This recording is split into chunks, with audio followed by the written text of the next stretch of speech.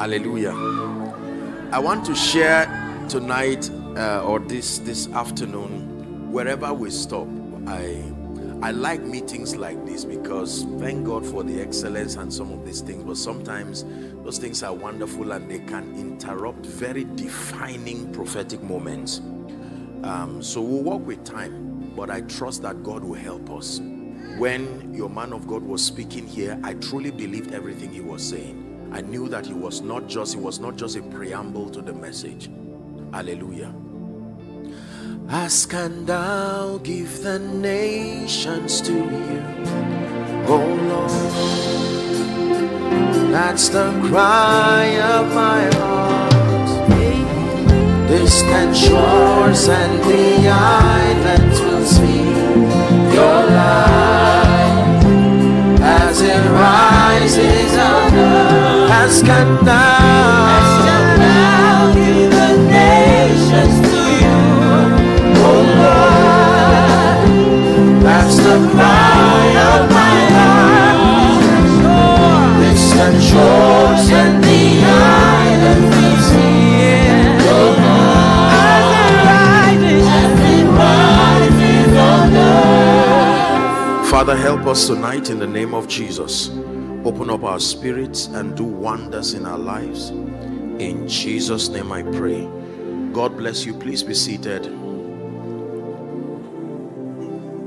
I'll be saying many things, but for caption, um, I'll be teaching on God's end time agenda.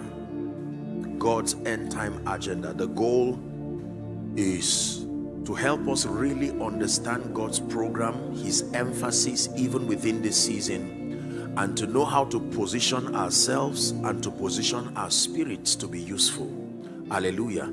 The Bible speaking about the men of Issachar, it says, and of the sons of Issachar who had understanding of the times, that they knew what Israel ought to do and they became captain even over their brethren because they could discern the times hallelujah i submit to you that many believers have not been methodically mentored to number one understand jesus number two to understand the kingdom number three to understand god's program if you do not understand these three things I just mentioned, no matter what else you learn, your journey will be lopsided because you will not be able to find a place for every other thing you talk about.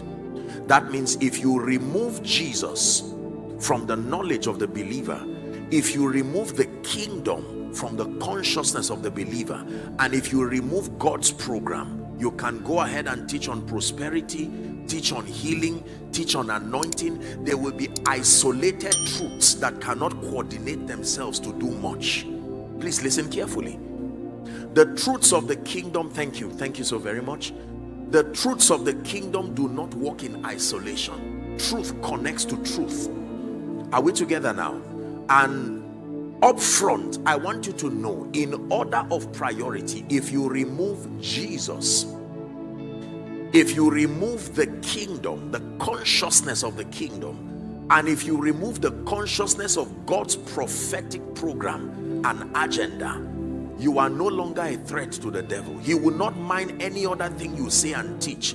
It will have very minimal effect. Hallelujah. Unfortunately, and I submit to you that a major part of the body of Christ um, have been in and still continue to be in ignorance as to this person. You would think because we call Jesus all the time, we know him. Hallelujah. He said, Who do men say that I am? It was a question he was asking people who were walking with him every day. They were not strangers who would visit and go. Those who came for his crusades were strangers. They would come, enjoy the miracles. But these were people who walked with him for over three years. And one day, he said, Who do men say that I am? A debate started. They said, You are uh, Elijah, you are one of the prophets. And then he said, All right, leave them. Who do you say that I, the Son of Man, is? And to their shock, none of them could answer that question except Peter speaking by the Spirit. He said, I know who thou art. Not we know. It's a personal revelation. I know who thou art. He says, Thou art Christ, the Son of the living God. Hallelujah. And he said, Flesh and blood has not revealed this to you. That means this is not within the realm of flesh and blood. Jesus Christ is the epicenter of the Christian faith. Not breakthrough, not healing, not church, not anointing, not man of God, not power, not miracles. It is important that we reorder. You see, the way you build, um, there are many people here, I presume, who are architects or are into architecture. If you want to build, even if you have the right materials, the sequential arrangement matters. You cannot put a zinc at the foundation, although a zinc is required in the building. So, largely, what we do in the body of Christ is we just gather truths and randomly communicate them, not knowing we are building a structure. Are we together? So, most believers are not in ignorance, but they are unable to handle the word of truth in a way that produces that effect. They know something about prayer, they know something about the Holy Ghost, they know something about fasting, they know something about healing, they know something about the importance of the anointing, they know something about church, they know something about, but then in the face of real life situation, even though they have all the ingredients, they are unable to combine it effectively to produce victory. It is for this reason he said in Jeremiah 3:15 that I will give you pastors or shepherds according to my heart. And he says that they will feed you with knowledge and understanding. Knowledge and understanding. They are not just reminding you of what you know, they are sequentially arranging it, line upon line, precept upon precept, so that you understand. You not only have the tools, but that you can be able to use these, tools to command victory in your own life and then to do much for the kingdom. If you're with me, please say amen. I submit to you, therefore, that the major problem in the body of Christ is not ignorance. I do not believe the body of Christ is in ignorance, scattered across from Nigeria, parts of Africa, across the globe. Here and there, God has helped and raised people who have communicated different dimensions of kingdom truth. And this we have to admit. We have seen the mercy of God as far as revelation, dishing out truth in the body of Christ is concerned. But there are two major problems with the body of Christ. Number one is imbalance. Imbalance exaggerating truth beyond their assigned jurisdiction of relevance. Imbalance. Imbalance is as destructive as error. Exaggeration of truth beyond their assigned jurisdiction. Are we together? We've not started talking about God's agenda. We're just laying a foundation. Wherever we stop, no problem, we'll pray. Imbalance. Listen, many of you here, I believe you cook and you cook well, especially the women. If you go to the kitchen to cook, there are ingredients that you just need a pinch of them, and that's fine. Is that true? For instance, salt. If you want to cook a pot of rice and you fetch, say, three or four handfuls of rice and then you also the same amount of salt. Is that good cooking? But is salt needed? You see that? Something so glorious can be the basis of your ruining a complete meal because it was stretched beyond its border beyond its jurisdiction. I hope you know that both good and evil came from the same tree. So it is not only evil that can kill good too can kill. They all came out of the same tree. What God gives is not just good, is life. Not every good brings life. There were two trees in Eden. One was called the tree of life. One was called the tree that contained good and evil. Hmm. Are we together? So if Satan tries to use error and it does not work he will use the good that you know and now reconfigure it in a way that hurts you and destroys you So here and there we see that many people have been victims of good teaching in the body of Christ but exaggerated beyond their jurisdiction of relevance. Imbalance. Imbalance. Very, very important. Imbalance. The second error in the body of Christ is the refusal to embrace the whole counsel of God. The refusal to embrace the whole counsel of God. And there is an explanation for that. Oh dear, please get this teaching. Get this teaching already. Please get it and use it for your personal retreat and help somebody with it who you know really loves God. If I stop here, what I said, as simple as it sounds, is already a miracle. The refusal to embrace the whole counsel of God. And there is an explanation for that.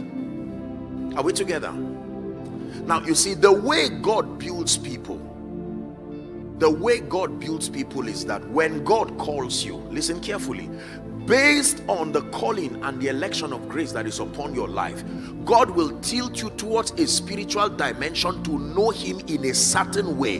That at the point you are learning Him that way, you will not know that it is incomplete.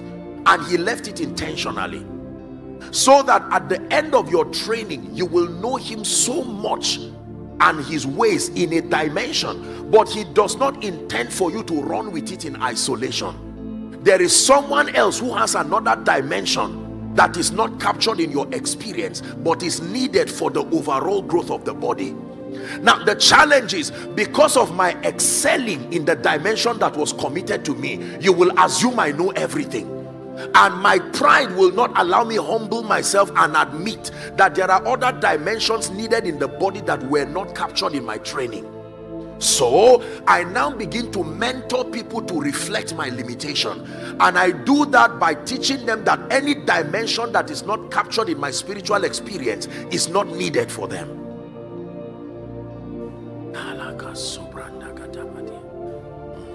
So chances are excellent that if God has raised me excuse me, to be, say, an administrator and to be a leader over people, you will be surprised that the scope of my training will capture in a rich dimension the spirit of wisdom, but I may not encounter the spirit of prayer and supplication it does not mean I will not pray. That dimension will not be well hosted in my experience.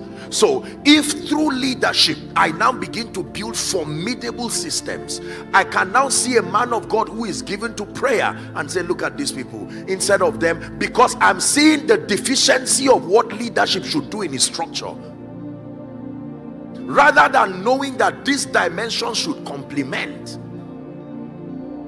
so you can look across the body of Christ and you can discern with surgical precision the dimensions that have been ignored in churches, in lives. You can know that the prayer ministry was embraced, but wisdom was ignored. You can know that wisdom was ignored. Uh, wisdom was not ignored. They are wealthy, they are blessed, but their spirit man is weak. You can look and know that these people have ignored the prophetic to their detriment. Embracing the whole counsel of God when Jesus took the bread remember at the last supper he took the bread which he said he was himself. He broke himself into different dimensions. Nobody in that dinner table carried all the bread. Everybody carried a piece of the bread. So if you carry a piece and you believe you have all he was the one who broke himself. So it's not error he broke himself deliberately so that if all of him must come back everybody must come with the peace that he was given. Is someone learning? So i can carry my piece of bread and teach it accurately. That is good but now the marking script will not be how well i taught it will be how well I taught and how well I aligned my piece of bread with respect to the rest. If I now ignore a ministry that reflects a dimension that was not captured in my experience, let me tell you what will happen. The multiplier effect will happen, especially in those you are raising and leading and mentoring So you find out that there are people who are mighty prayer warriors, fasting giants, but they are poor, they are broke, there is no influence. Their lives, their children are hooligans because they cannot, the things that pertain unto life and godliness they do not have. Then you have those who are rich and influential, carnally minded, and church is just a jamboree of flesh. Absolutely nothing spiritual there.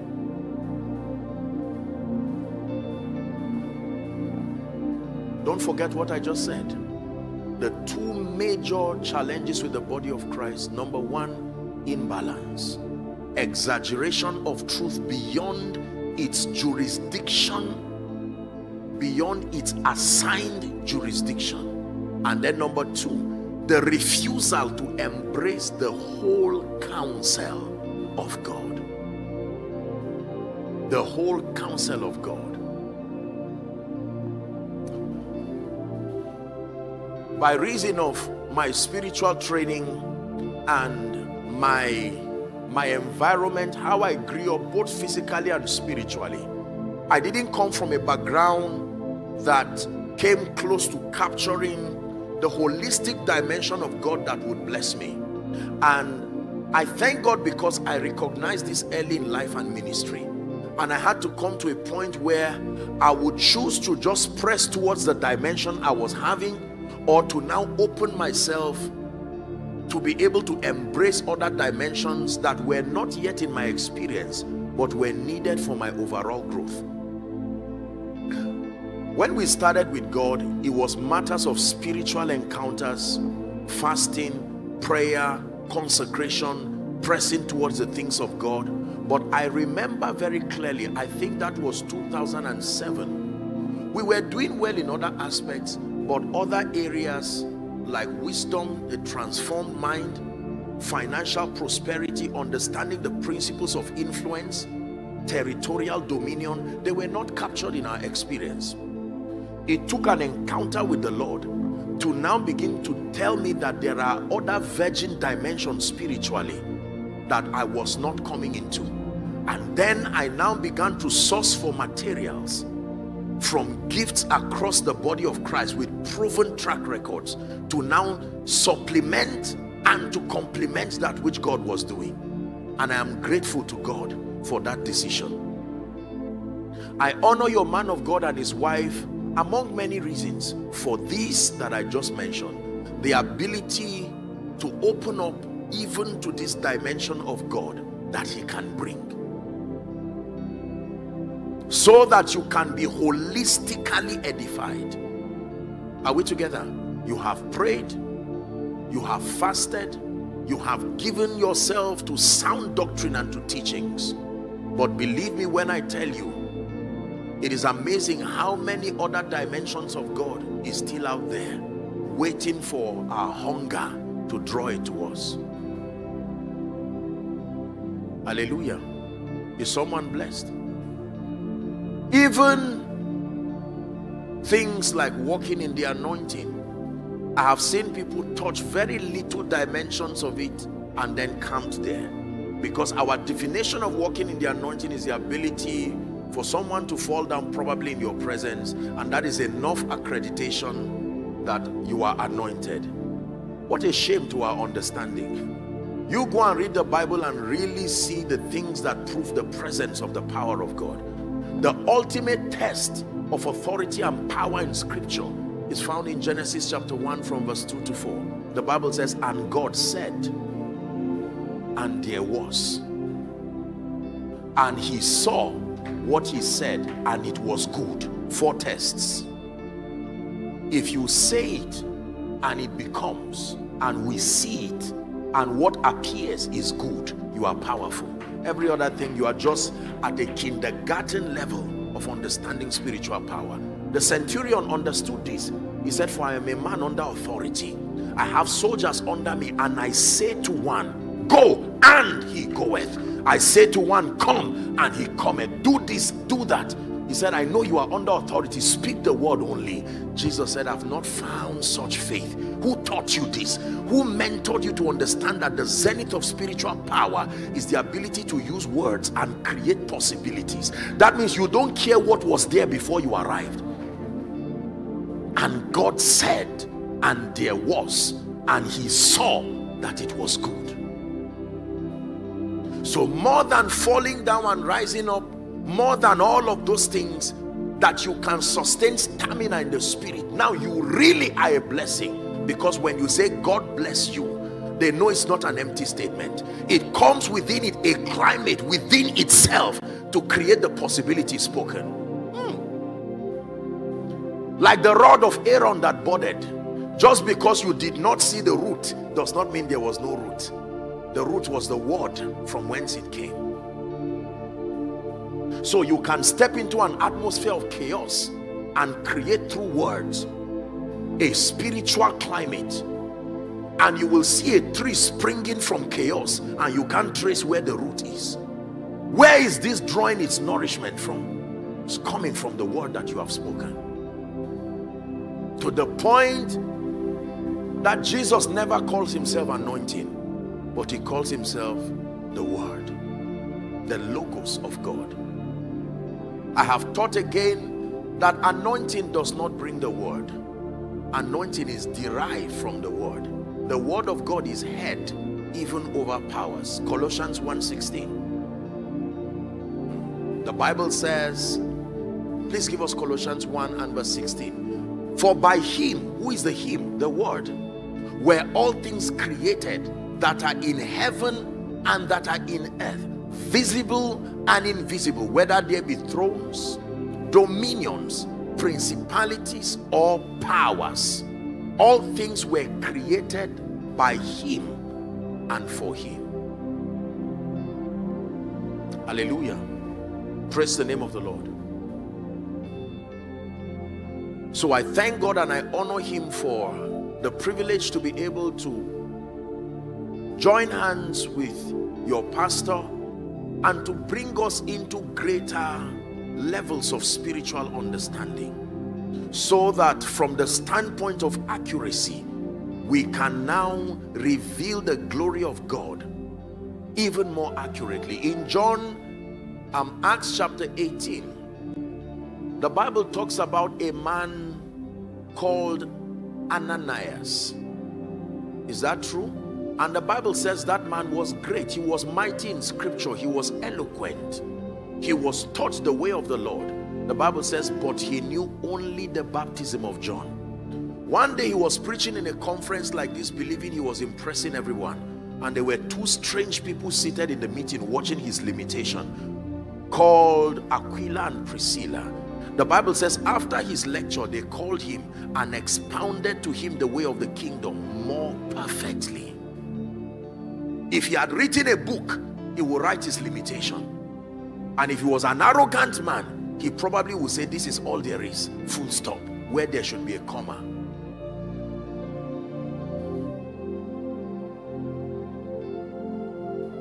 Father, we pray that you will help us. We desire to be people who are entire, people who are complete, people who will be able to do much for you and for your kingdom even within our lifetime. We desire to learn you.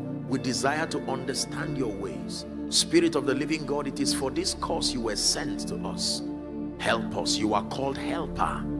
Open us up to the truth. You are called the spirit of truth. And indeed that you will comfort us. We thank you. In the name of Jesus Christ. So we're looking at God's end time agenda. God has an agenda. God has a program.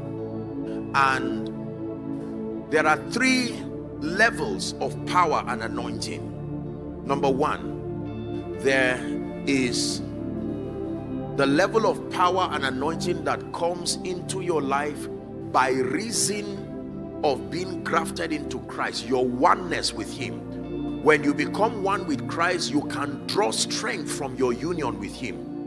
Ephesians chapter 6 and verse 10 amplified. It says, Finally, brethren, be strong in the Lord.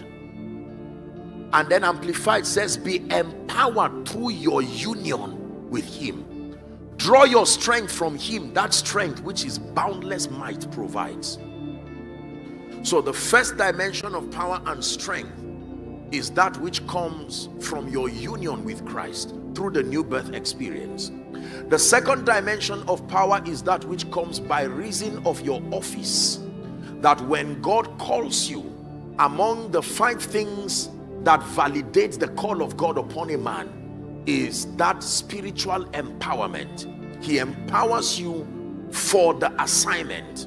So there is an anointing that is not just upon you, it's upon your office. For as long as you occupy that office, you can be dying as an individual, and yet that grace still remains on your office as you function.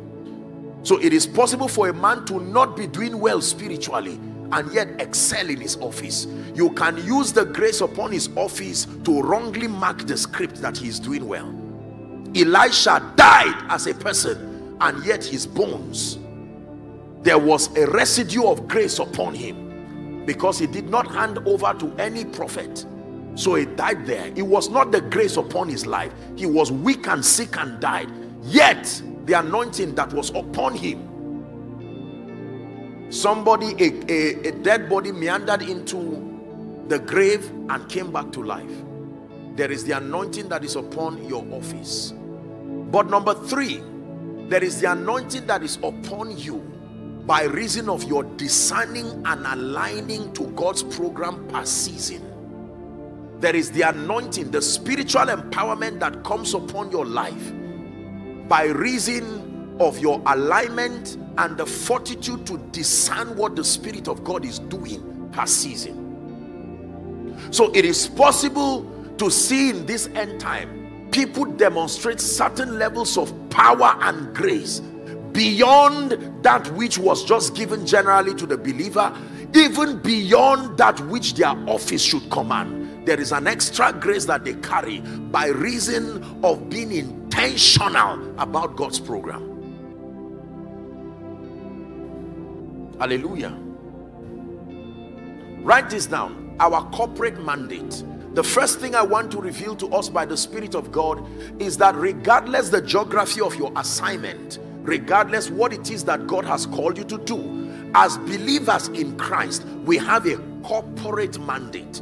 Our corporate mandate is that which drives everyone who names the name of Christ and everyone who has been born into this spiritual experience, even by the word and by the spirit. Two scriptures validate our corporate mandate. Number one is John chapter 1 from verse 6 and 7. This represents our corporate mandate as believers. John chapter 1, 6 to 7. The Bible says there was a man, that man was sent from God whose name was John. He was not sent as John. He only had the name John when he arrived the earth.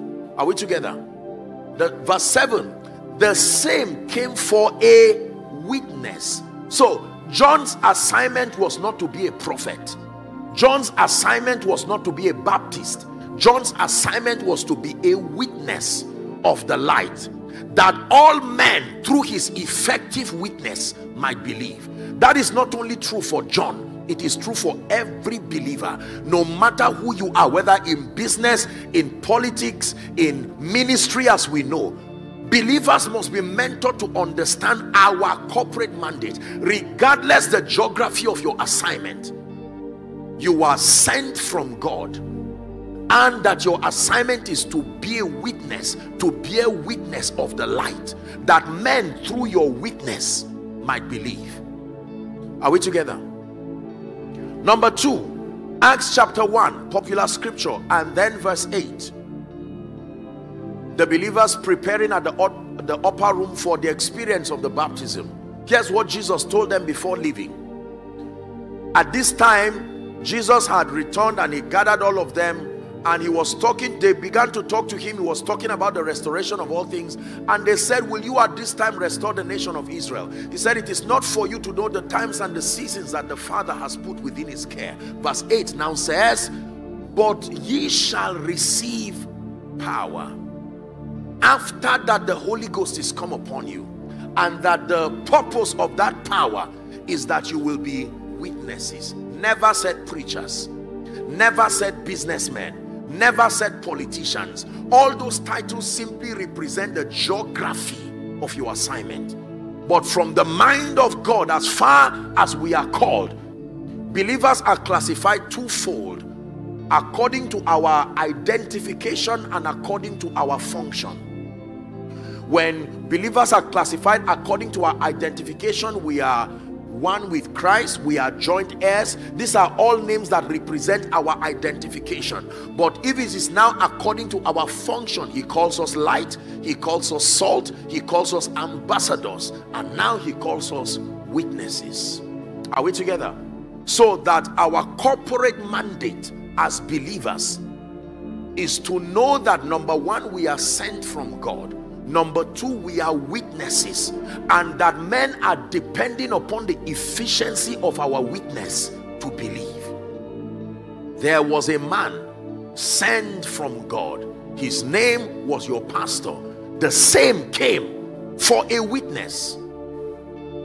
When you look at the blueprint and the script of the life and destiny of your pastor prophetically, you may not necessarily see the name of this church or this program or today's program. You will see a general caption that he was sent from eternity into time as a witness, that through his witness, men might believe.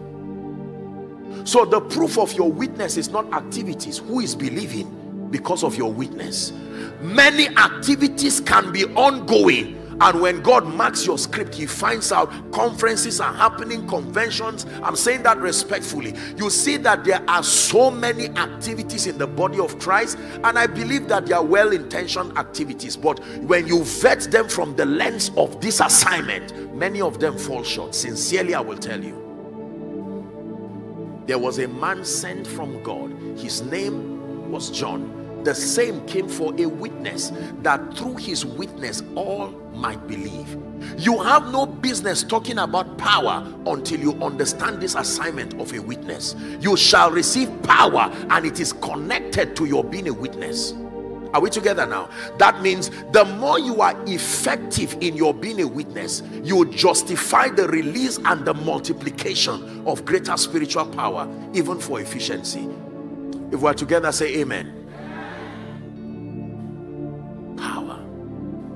After that the Holy Ghost is come upon you and you shall be witness. Please write the word witness down. Who is a witness? A witness is a validator of a claim. A witness is a validator of a claim. That means the primary assignment of a witness is to justify the speakings of another. That means if there is a contention over something that was said, it is the assignment of a witness to clear all doubts. It is the assignment of a witness to bring to end every confusion as to the validity of a statement. Are we together? A number of us here, I believe, are into uh, legal practice or the judicial system and you understand that when you are in the court of law uh, usually if someone brings a statement the judge will say do you have a witness? Because someone is negating that statement. So they would call someone who will come and stand in the box and swear by whatever he believes in and say i will tell the truth and nothing but the truth. Were you there? Yes i was there hiding somewhere. Now how will believers receive the mandate of being witnesses when we were not there when he died? What gives the audacity then to be a witness? Because when he died we were not born. And yet we are supposed to tell the world that statement was not a lie.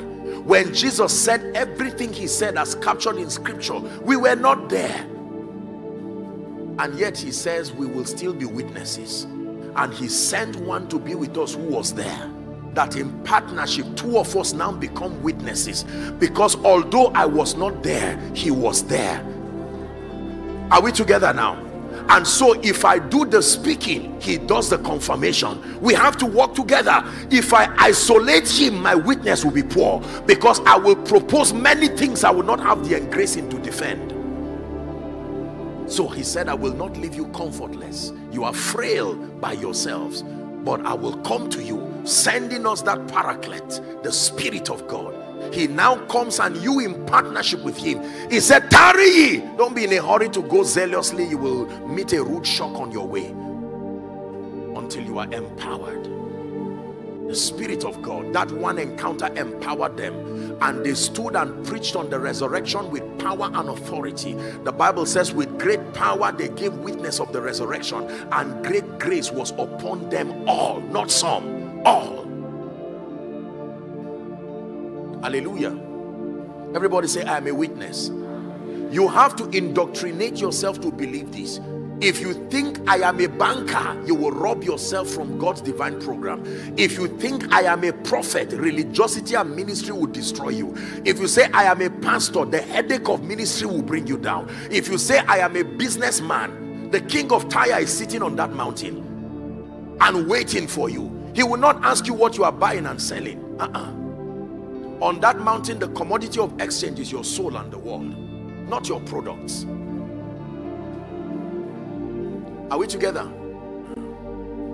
One more time, say, I am a witness.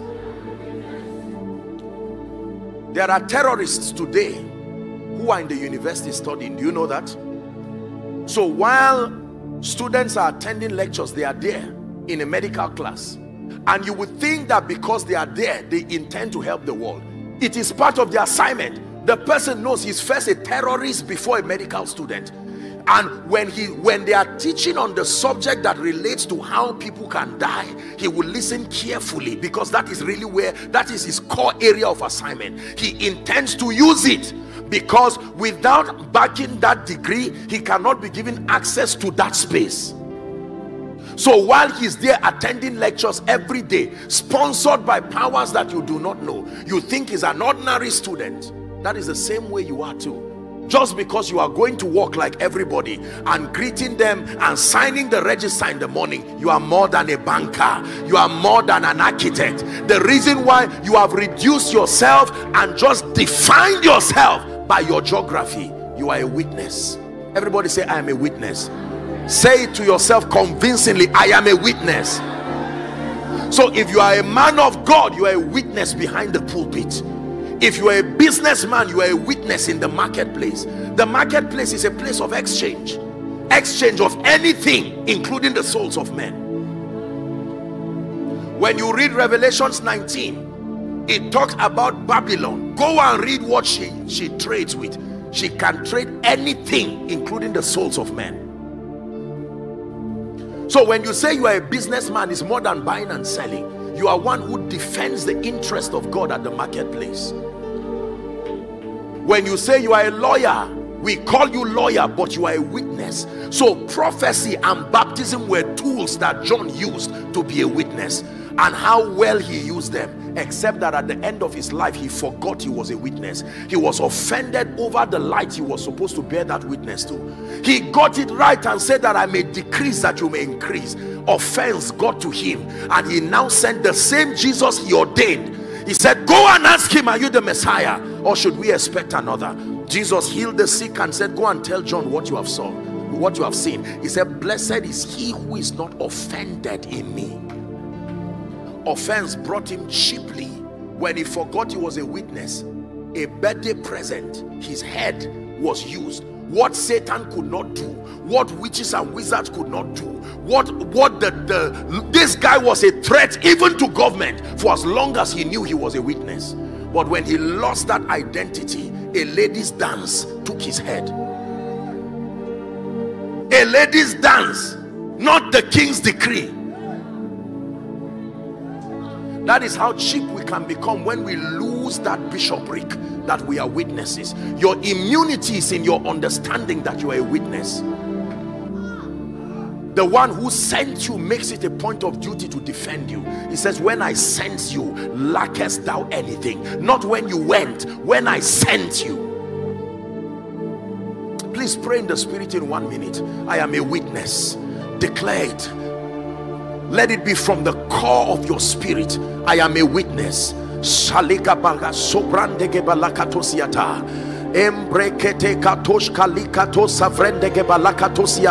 I am a witness in the name of Jesus. A witness behind the pulpit. I am a witness as a media person. I am a witness as an architect a witness as a kingdom millionaire billionaire. I am a witness as a politician. I don't define myself by my geography of witness. I am a validator of the claims of jesus. Myself in partnership with the spirit of god. Hallelujah. Praise the name of the lord. In the book of revelation chapter 1 when the voice that spoke to John in the Isle of Patmos was describing Jesus himself one of the many names he was called was the faithful witness Jesus. Are we together? The Bible says John was in the Isle of Patmos for the testimony of Jesus that he sent he he heard the word and it was sent and signified by his angel. And now he began to describe that one because he saw the glory of heaven and he saw seven lampstands. He says and in the midst of the lampstand he began to describe one like the son of man. And he was called the faithful witness. The witness who did his assignment to the satisfaction of the father. He said this is my beloved son in whom i am well pleased I never carry the mentality that I'm a preacher. I never carry the mentality of a celebrity. I never carry the mentality of most of these things. No, I am a witness. I remain a witness. Whether on pulpit, I am a witness. Anywhere, I'm a witness. That means God has liberty to call on my attention anywhere there is need for validation. So I can be on my way to bed and something is happening in the earth and there is need. Satan is contending. See let me tell you how satan works. Because man is the zenith of god's creation. Am i wasting your time? Because man is the zenith of god's creation. Listen carefully the greatest way to indict the integrity of god is to use man as a canvas and write a statement through him that indicts the integrity of God. So when Satan afflicts you, it's more than sickness. He's using that disease as a pen on your body to indict the integrity of God. The entire creation being the witness. And so there is a need for heaven to reply back.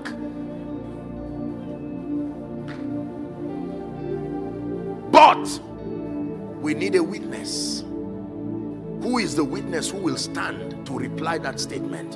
And so for a long time, because of the absence of a witness, creation will have to use that aberrated story to believe God is not faithful. But then a witness comes and that witness says in the name of Jesus be healed. That healing is God's reply back now to Satan through creation that I am still seated on the throne signed by my witness are you seeing that now? So by the time you call it healing and you clap for the man of god but there is a bigger essence to that miracle in the spirit. Everything that stops the saints from rising to their full prophetic potential is a letter from satan through man to god. The reply will come from god through his witnesses that means whatever it takes you to be able to effectively communicate that reply it is within the power of God to give you. This is the correct basis for praying for power.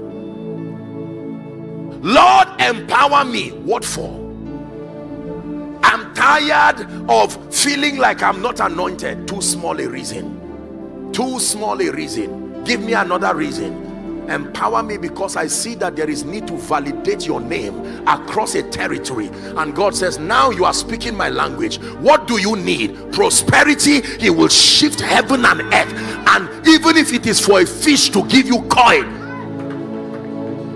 there are people who pray once and you see heaven rush to them. It's not because they are saying any other thing. Their state has been glued to the program of God. They know that they are witnesses Father, your name is about to suffer reproach, and he stands up, standing behind them as a mighty, terrible one. Listen, when you have this understanding, it will change the dynamics of your Christian experience. I am a witness. So when someone says over your dead body to rise, he didn't talk to you. Ah, he didn't talk to you. When David stood before Goliath, if he went in his name and by his authority, he would have been surprised. He would have been a lesson for the nation of Israel to learn. But he went there and Goliath was roaring and shouting and the young boy stood there. You come to me with your bows, you come to me with your spears, but I come to you as a witness in a name. There is an authority that is bigger than what you see. I truly believe that any part of Goliath that sling touch, he will still fall down. It was not about the accuracy of the hitting. It was about a message that the power of God could move through that sling and bring Goliath down. Everybody say, I'm a witness. Please get this revelation. Say, I'm a witness. Now, please look up. There are many of you here who God has helped to rise commendably, whether in the civil service, uh, the, the civil service or whatever um, um, firm that you work in, do you know that when they promote you to certain levels, certain rankings, there are privileges connected to it, like an official car, am I right? Like an official house. Other people, you even have security agents that work with you. This is also true for the realm of the spirit. It is true. There are blessings that come on account of your determination to be witnesses. When he sent them in his name two by two the bible says they returned in shock and said even the devils were subject to us in your name. And jesus said no do not rejoice just about that. Rejoice that your names are written in heaven. And then he said i saw satan fall like lightning. They were surprised. Ordinary us but we went in a name. And as we got there when we were hungry someone just came to give us food Jesus, what happened? Explain to us why we've been living begging for bread, but now that you sent us, how many days we went and returned, no hunger. When you know you are a witness, you expect Abuja to do something to you. That means the one who sent you should speak to the territory and say, Hear ye him. Hear ye him means whatever it makes for his sufficiency, make it available please believe what i'm telling you.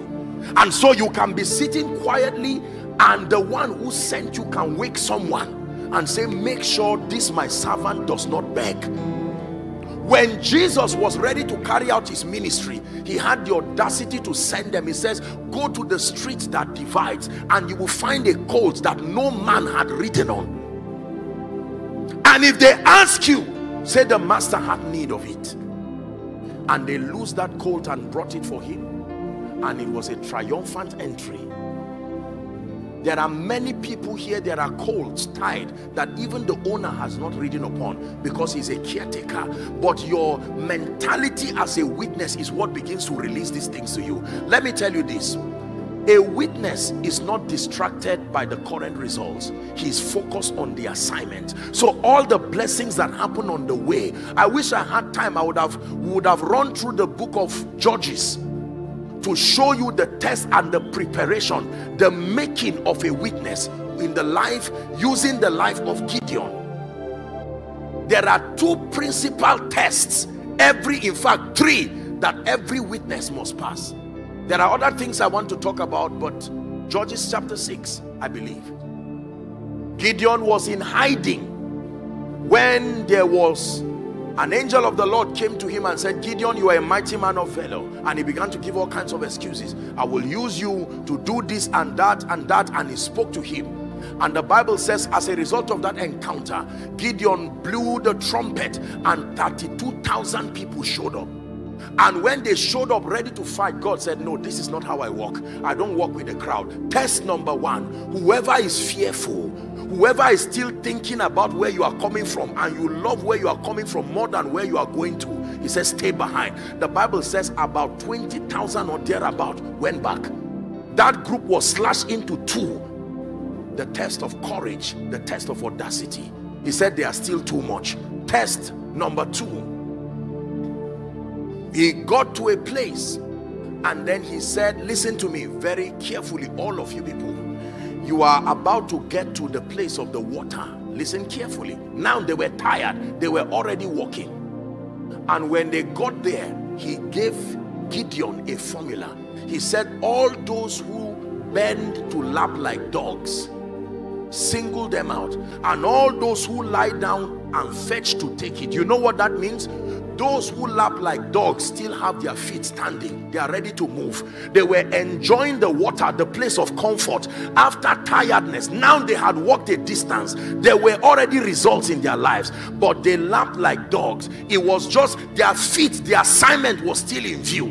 While they were enjoying the momentary blessing they were intending to continue. But there were those who sat down there. That means they had camped. I'm not continuing again this prosperity that i found is enough. God do whatever with that assignment. He says separate these two groups and only 300 people made the list. Maybe another time god will grant us grace to really deal with the subject of a witness. Because a witness takes more than availability. There is a making. When God calls you he does not send you. Your first assignment is follow me not follow it. When you follow it you will be lost when God God never calls a man and then says go follow me and I will make you you will think that making is something that happens in two weeks read your Bible how long it took to make the apostles three and a half years of solid mentorship daily for one day of encounter with the Holy Spirit. Look at the ratio of teaching to impartation. We have missed it in the body of Christ today. We are always obsessed about imparting on empty spirits, empty heads, no vessels. We keep wasting oil and pouring it on the ground. The Bible said when there was no vessel. So the first assignment is go and borrow vessel. Borrow not a few. Enlarge, expand. See the ratio of teaching and mentorship to impartation three and a half years to one day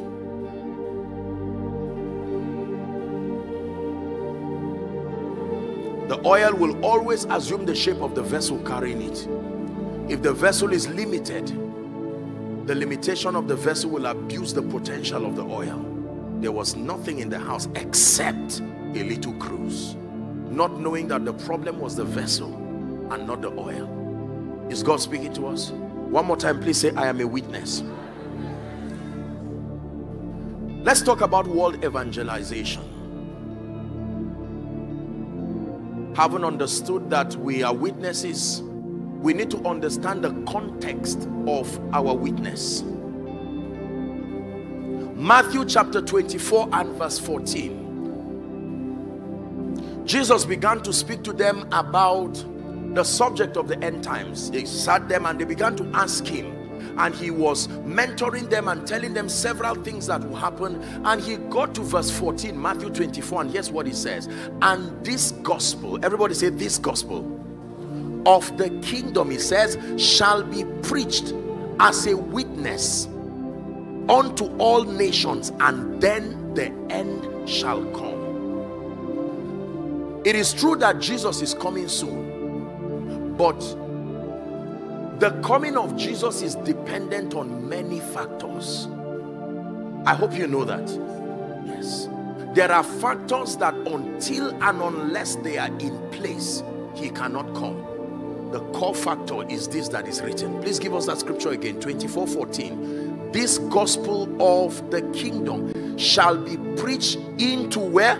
In all the world not for the purpose of people believing it necessarily but as a witness let it be that they had an opportunity to hear it and then I will come. Because judgment for sinners will only be on the basis of the opportunity for them to have had the gospel. I hope you know that. The character of God's judgment was revealed in scripture already. How does God judge with respect to what you heard? So if they were not given an opportunity to hear the gospel, another template will have to be used for their judgment. Yes. It's not going to be a generic judgment to everybody. No. Anybody who died without Christ and did not have the opportunity to hear about Christ genuinely, there will be another basis for judgment. Read your Bible. When Jesus went to hell, Apostle Peter was teaching us he preached the gospel to the departed saints in Hades there when they believed because there was there was a promise they were left with and they died not receiving it. Now jesus preached to them. They believed and he came out of the grave with them. Is it not in your bible? That graves were open and the departed saints came out. They walked the streets of jerusalem. From that time he stopped becoming the only begotten. He became the first begotten of we the brethren. Hallelujah world evangelization the average believer does not know anything about world evangelization we think it's for missionaries and preachers and we think mine is to do well let me just live a good life and love God and highest just donate some money to a man of God and I think God should be satisfied. No, we have to culture our understanding to carry the burden of the nations, to carry the burden that is in the heart of Jesus. This is the kind of move that will release tremendous power. Look at this scripture, Second Peter chapter 3 and verse 9. Second Peter 3 and verse 9. The Bible says the Lord is not slack concerning his promise as some men count slackness. Is that in your Bible? It says, but is long suffering to usward. Listen carefully. Not willing that any should perish, but that all should come to repentance. How many should come? All. So we are examining the burden in the heart of the master. He desires that all should come to repentance. All every nation every individual our relatives who do not know jesus he desires that they should come to repentance one last scripture matthew chapter 9 please from verse 35 matthew 9 and 35 ah, ah, ah, ah,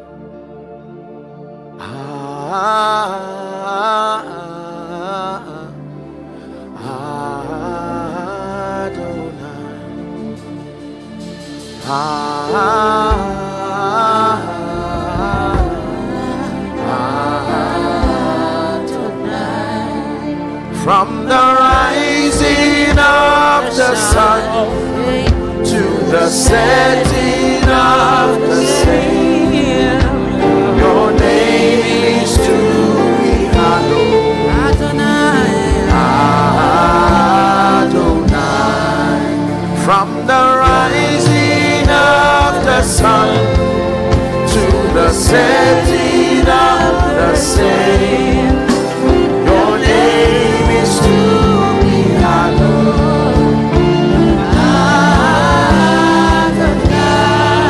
God bless you. Please give us that scripture.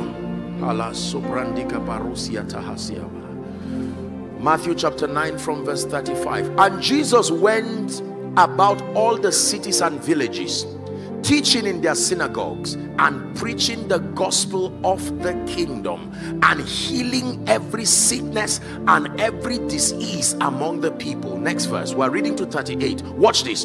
But when he saw the multitudes he was moved with compassion on them because they fainted and were scattered abroad as sheep having no shepherd.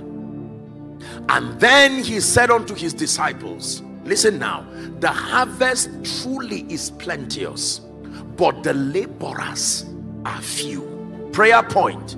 Pray ye therefore that the lord of the harvest the lord of the harvest that he will send forth laborers for his harvest. Has that prayer been answered? There are few times in scripture where jesus gives us his prayer point he says, Pray ye therefore the Lord of the harvest that he will send forth laborers, laborers for his harvest. Let me tell you this. I have heard several teachings that relate to kingdom come and world evangelization and the move of God across the nations. Now, please listen the character of the gospel the gospel intends to achieve two purposes number one there is the message that saves the first dimension of the gospel that believers must understand is the message that saves what is that message the revelation of the father's love revealed in and through the substitutionary sacrifice of Jesus the Son. Are we together? Man and creation being the recipients of that sacrifice. This is the gospel. John 3:16 says, For God so loved the world that he gave his then only begotten son. Today he's not his only begotten son, he's the first begotten among we the brethren, that whosoever believes in him he should not perish but have Zoe. That is more than everlasting life. Zoe is more than everlasting life. I think I said that the last time I was here. I said everybody has everlasting life. Everlasting life is not something that you get when you come to Jesus. It's something you get when you pass through the womb of a woman. Both sinners and saints have everlasting life. The question is location, not the possibility. Everybody who left the earth is still alive in another dimension. Is it not in your Bible? Did you ever hear of anybody who ceased living? There was only a transition in dimensions. The parable of the rich man and Lazarus. They left the earth, but they were still alive. Another kind of life. So the life Jesus came to give us, even though generically we say everlasting, is more than everlasting. It's a quality of life. In fact, respectfully speaking it is not God's kind of life if you say it is God's kind of life that means there's no basis of our oneness with him it is his very life that was given to us not the kind no it is a life of God given to us. It was not another Holy Spirit given to us because we too are Holy Spirits. I hope you know. Every recreated human spirit is a Holy Spirit.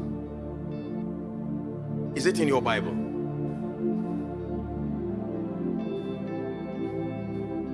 So the Holy Spirit of God comes upon you is, is the very same spirit, not another.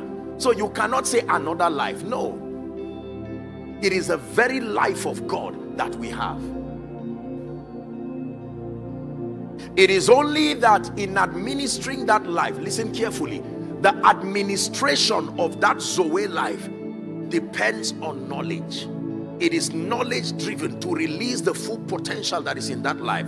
So you find out that because thank you my people i think you should be sitting down. If you keep coming up here i will keep singing up and down. Don't worry. May god bless you in the name of jesus christ. Are we together? Yes. Ephesians 4 18 says having their understanding darkened being alienated from the life of God through the ignorance that is in them because of the blindness of their hearts. So ignorance can alienate you from the potential of that Zoe life. Why is God almighty? Because he's also all-knowing. So the degree to which your knowledge grows, that is the degree to which grace and peace is multiplied unto you. Grace and peace is multiplied to you through knowledge. Are we learning now? So it makes sense that the all-knowing should be the almighty too. That the all-knowing should be the all-powerful too. World evangelization. I was talking about two dimensions of the gospel. Number one is the message that saves. Please say the message that saves. Now, the jurisdiction of that message is the spirit of the human that means that mess the message that saves um, another person cannot be saved for another person that's what i meant the message comes to you personally you believe and then in believing that which jesus christ did the bible says there is a deposit of the life of god within your spirit. You are grafted into christ through the ministry of the holy spirit. Is that true? Born of the word. But there is a second dimension to the gospel, the ideology that transforms territories. Please listen, because if you are to understand God's program, world evangelization, there are many people who do not understand God's concept of invading systems. And I've heard people, even preachers, say it wonderfully, but then I know that that is not accurate. Listen, please look up. God's idea is not to make Nigeria like America or Dubai. I hate to be a bearer of bad news, but it's not going to happen. Let me repeat myself. The illusion that one day you will suddenly not differentiate Nigeria and America. Maybe in the New Jerusalem, when the old head is wiped away. But as far as this civilization is concerned, it is, it is very childish and immature to even believe that. So God's program is not the physical transformation of territories yet. His program in order of priority is the spiritual transformation of hearts and then institutionalizing the mindset of the kingdom are we together now? Listen carefully. More than just the physical translation of territories, it is first the hearts of men to be saved, then ideologies that create an ample opportunity for the gospel. Now, we've gotten it wrong in many regards. So believers do not care who is saved or not. We just believe that if the power of God and the gospel is coming, every Nigerian now drives a Rolls Royce. We have skyscrapers. There is order, light 24 hours, no trouble. The president in Nigeria becomes greater than that of America. I agree with you. It's good to think big. It's good to think far. But let me tell you, we need to edit our priorities to know what is obtainable and what is not. Are we together? I don't mean to abuse. I hope you know that I'm a positive person. Believers have all kinds of ideas as to what they call thy kingdom come. Thy kingdom comes means number one, that the life and the power of Jesus Christ finds expression across every unsaved heart. That is number one. And then number two, that the ideology of the kingdom, because territories are not changed by physical architecture. Territories are changed through mindsets and beliefs. In order of priority, when we begin to plant within people the mindsets that are consistent with scripture. Are we together now? it will naturally begin to translate into value systems that translate society trying to physically change a territory without that transformation that has happened in, in the minds of people is a wasted effort. It's like looking at the mirror and trying to remove what is on your shoulder by putting your hand in the mirror. You correct it here and the one in the mirror corrects itself. Are we learning? So that when People come and tell me, Apostle, pray for me. God is sending me to the nations. I tell them, okay, so talk to me. What are you really going to be doing? And they say, I'm just going to make sure. God said, go and raise me a people. And I said, I agree. I'm not doubting you. I know you met Jesus, but let me just help you. What exactly are you going to be doing? It is this lack of definition as to God's expectation and the clarity as to what we should be doing that has brought these various pseudo-Christian inventions around church and ministry. Believe me, God has an exact program and his power follows his program. So if you want his power, you must find out his program and stand there. Hallelujah. Praise the name of the Lord believing that one day I repeat it again that one day Nigeria will suddenly magically be transformed to become Dubai and then become another city to the point where everybody will rush and come because of physical civilization. That is not it. Our real treasure is not physical things. Our real treasure is the richness of the life of Christ that is resident within us. It is true that the nations will come but they will not come because of the dexterity of the physical environment. There will be a quality of life that will emanate from the believer that will compel all and sundry regardless the physical comfort they have. There will be things that they will not be able to solve with money. There will be things they will not be able to solve with policies they will run to the house of God and they will the Bible says they will learn his ways. We will bring forth wisdom that is beyond that which government and educational systems can bring because we're in partnership with the Holy Spirit who is the wisdom of God. World evangelization. Why am I teaching you this? Listen we're going to pray and all of the miracles i will tell you why it looks like god is let me use for want of word mising his power. You find out that there seem to be just few people across the body heavily anointed and it looks like there are few people who seem to command tremendous spiritual power. And then the remaining just crouch and hope. No that that can never be god's blueprint. It is the degree to which we align with the program of God. That is the degree to which we will command the investment of his power, his grace, his resources, and even his backing. If you're with me, say amen. I started this teaching by singing a song. That song has been an anthem of my heart for many years to see to it that the nations come to the cross. It is not because I'm a man of God, because you will be learning that world evangelization is really not for preachers. World evangelization is not for preachers. You will be learning that preachers prepare those who do the world evangelization.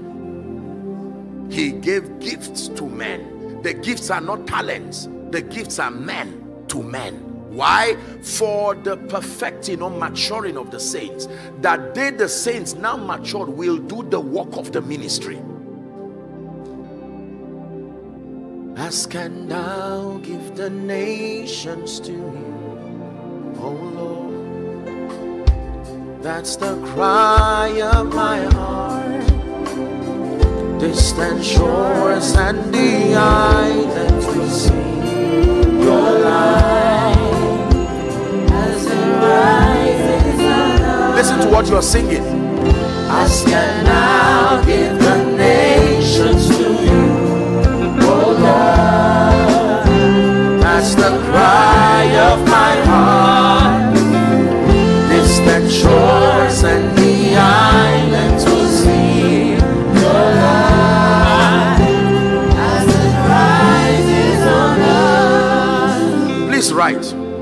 What is evangelism? No, no, no, not right. Please sit. I meant right. What is evangelism? Let's redefine evangelism. What exactly is evangelism? Evangelism is telling someone about Jesus, not necessarily. What is evangelism? evangelism has to do with deploying any and every scriptural strategy. Listen carefully.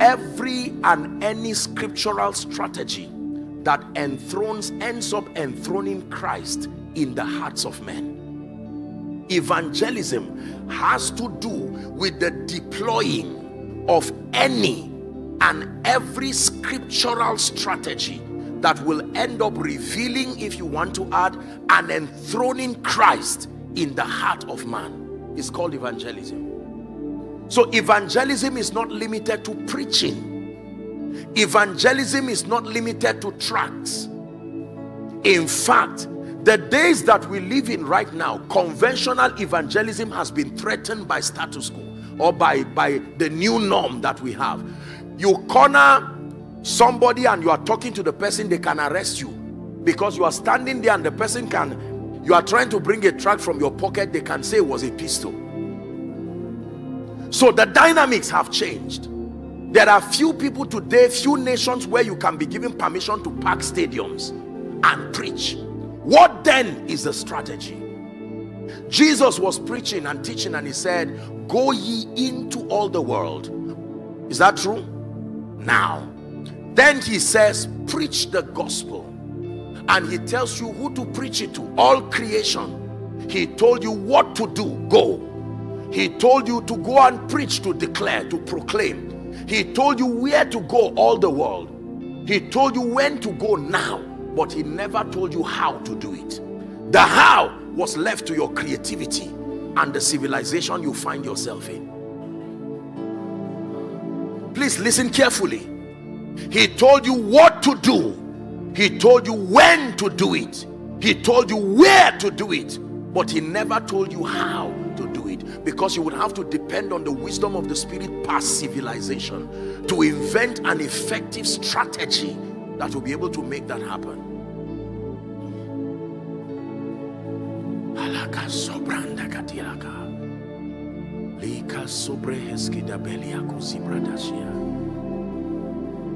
is God speaking to us? So the how is flexible.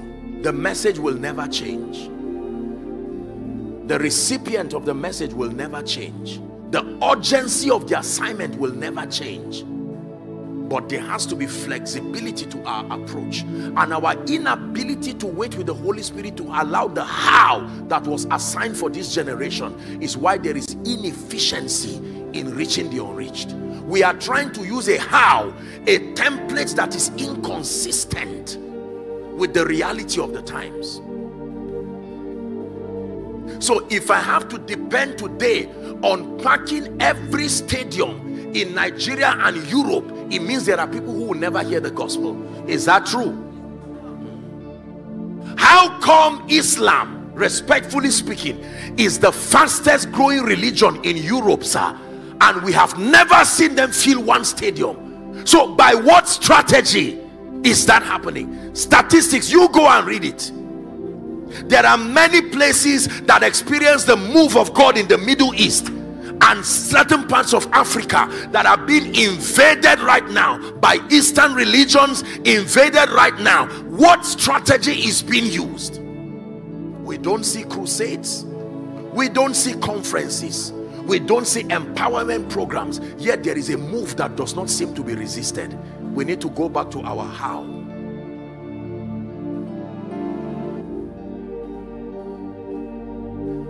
We missed a very powerful instruction. He didn't say go yet.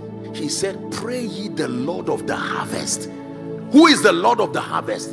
Lord means owner the one who is in charge of this program. There was one who was put in charge of this program.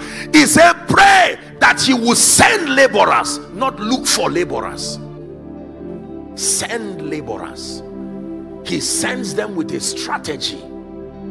This was the secret behind Joshua's conquest. When they got to Jericho he did not assume that because they were prior victories for every new battle there was a strategy. And when he got there what is the strategy? The men are uncircumcised. There is no consecration so there cannot be that encounter. And he said first things first cut the foreskin of all the men. That was what happened. After that circumcision happened the next thing a stranger came and he said i'm ready to partner with you now.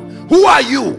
Because god told him that no man will be able to stand against you. He removed the sword and the man had to explain say no no no no no. I came to give you a strategy. For this battle here is the strategy. You can't kill everybody one by one. That strategy worked in another battle but now it is not one by one. There is a strategy that will bring the whole system down. Did you not read in your bible that babylon the great is falling? It says in one hour. Did you ever ask what strategy brings down that system?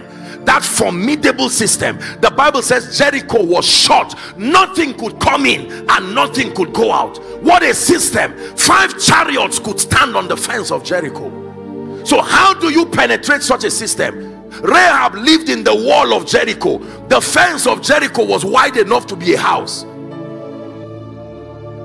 It would have been a, a fatal battle for the nation of israel to have tried to fight directly. Do you look at study their security architecture and see how powerful it was. The spies entered and interacted with rahab. Within a short time the report had gotten to the king with precision as to who came. How do you defeat that kind of place? No. So if you think you will defeat a world with command of social media where there are voices there is a large orientation we must return to the lord of the harvest the first strategy for evangelism is not going is prayer. Lord of the harvest we are we are we are limited until you come and give us the blueprint. Pray ye the lord of the harvest. How does he train people to walk faster by saying tarry ye it's in your bible. How did he make the early church effective? He said tarry. So in your waiting you are faster in your waiting you are faster. Every time god says wait he only made your journey faster.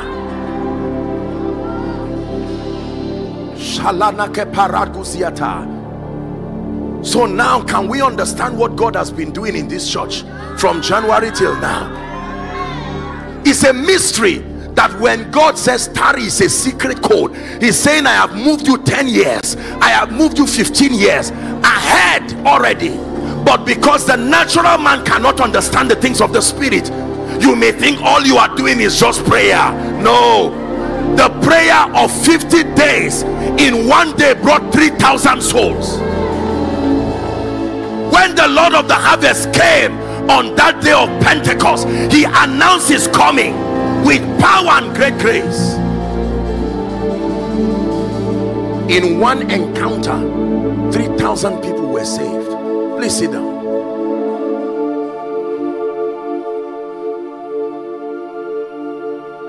Listen, let me tell you this. The real prayer point in this season is not God give me tea, God give me bread. He will. The real prayer point is not God make me famous. The real prayer point that commands the attention of heaven today is not, oh God, let me rise greater than every pastor. Let me be the man of God that everybody knows. That is nonsense. That is not prayer consistent with the heart of God. The real prayer is, Lord, reintroduce us to the Lord of the harvest. There is something about him we do not know. Hold on carefully. Oh dear. I wish I had the time would have come to that Lord of the harvest, the spirit of truth himself. How in the world do you plan to evangelize the globe and yet not know him? The Lord of the harvest is not the Father. The Lord of the harvest is not the Son. The Son is the cause of the harvest, not the Lord of the harvest. The Lord of the harvest is the Spirit. He told the disciples, tarry. You have met the cause of the harvest, but wait until you meet the Lord of the harvest.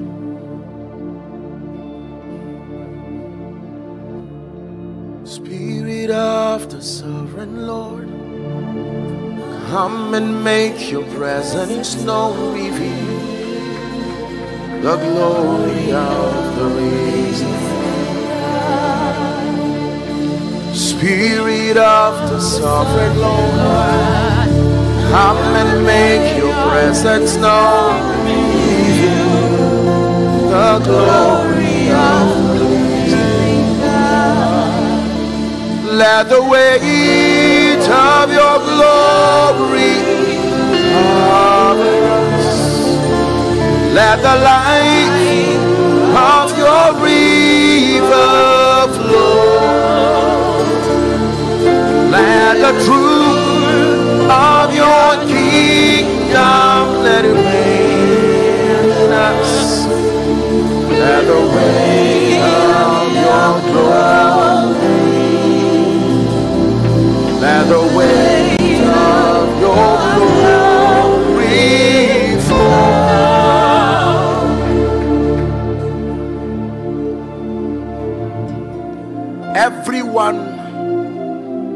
was to be used as a witness for this world evangelization, the first thing that happened was he was introduced to the Lord of the harvest. I hand you over to the Lord of the harvest. So he comes and he begins to teach you. He comes and he begins to guide you. He says, when he, the spirit of truth, is come, he will reprove the world. Who will do the reproofing? You don't have the power to reprove an arrogant world. You don't have the power to convince an arrogant world. The disciples tried it, it did not work. They tried, it did not work. Peter himself, who did not have the strength, he had seen miracles, but he denied Jesus. When the witness denies Jesus, what then happens to the one to be witnessed? But when the spirit of truth came, the Bible says handkerchiefs and aprons were taken from the bodies. Look at those timid individuals running up and down. When they caught Jesus, only John the beloved remained and Mary. They all ran away. They saw power but they had not met the Lord of the harvest. When the Lord of the harvest came in power, please listen. He did not come to a people who were loitering around. He came to a people who are tarried. They didn't tarry for one day. Oh. 50 days, 40 days of lecture, 10 days of extra waiting. And then he came. now when the day of pentecost was fully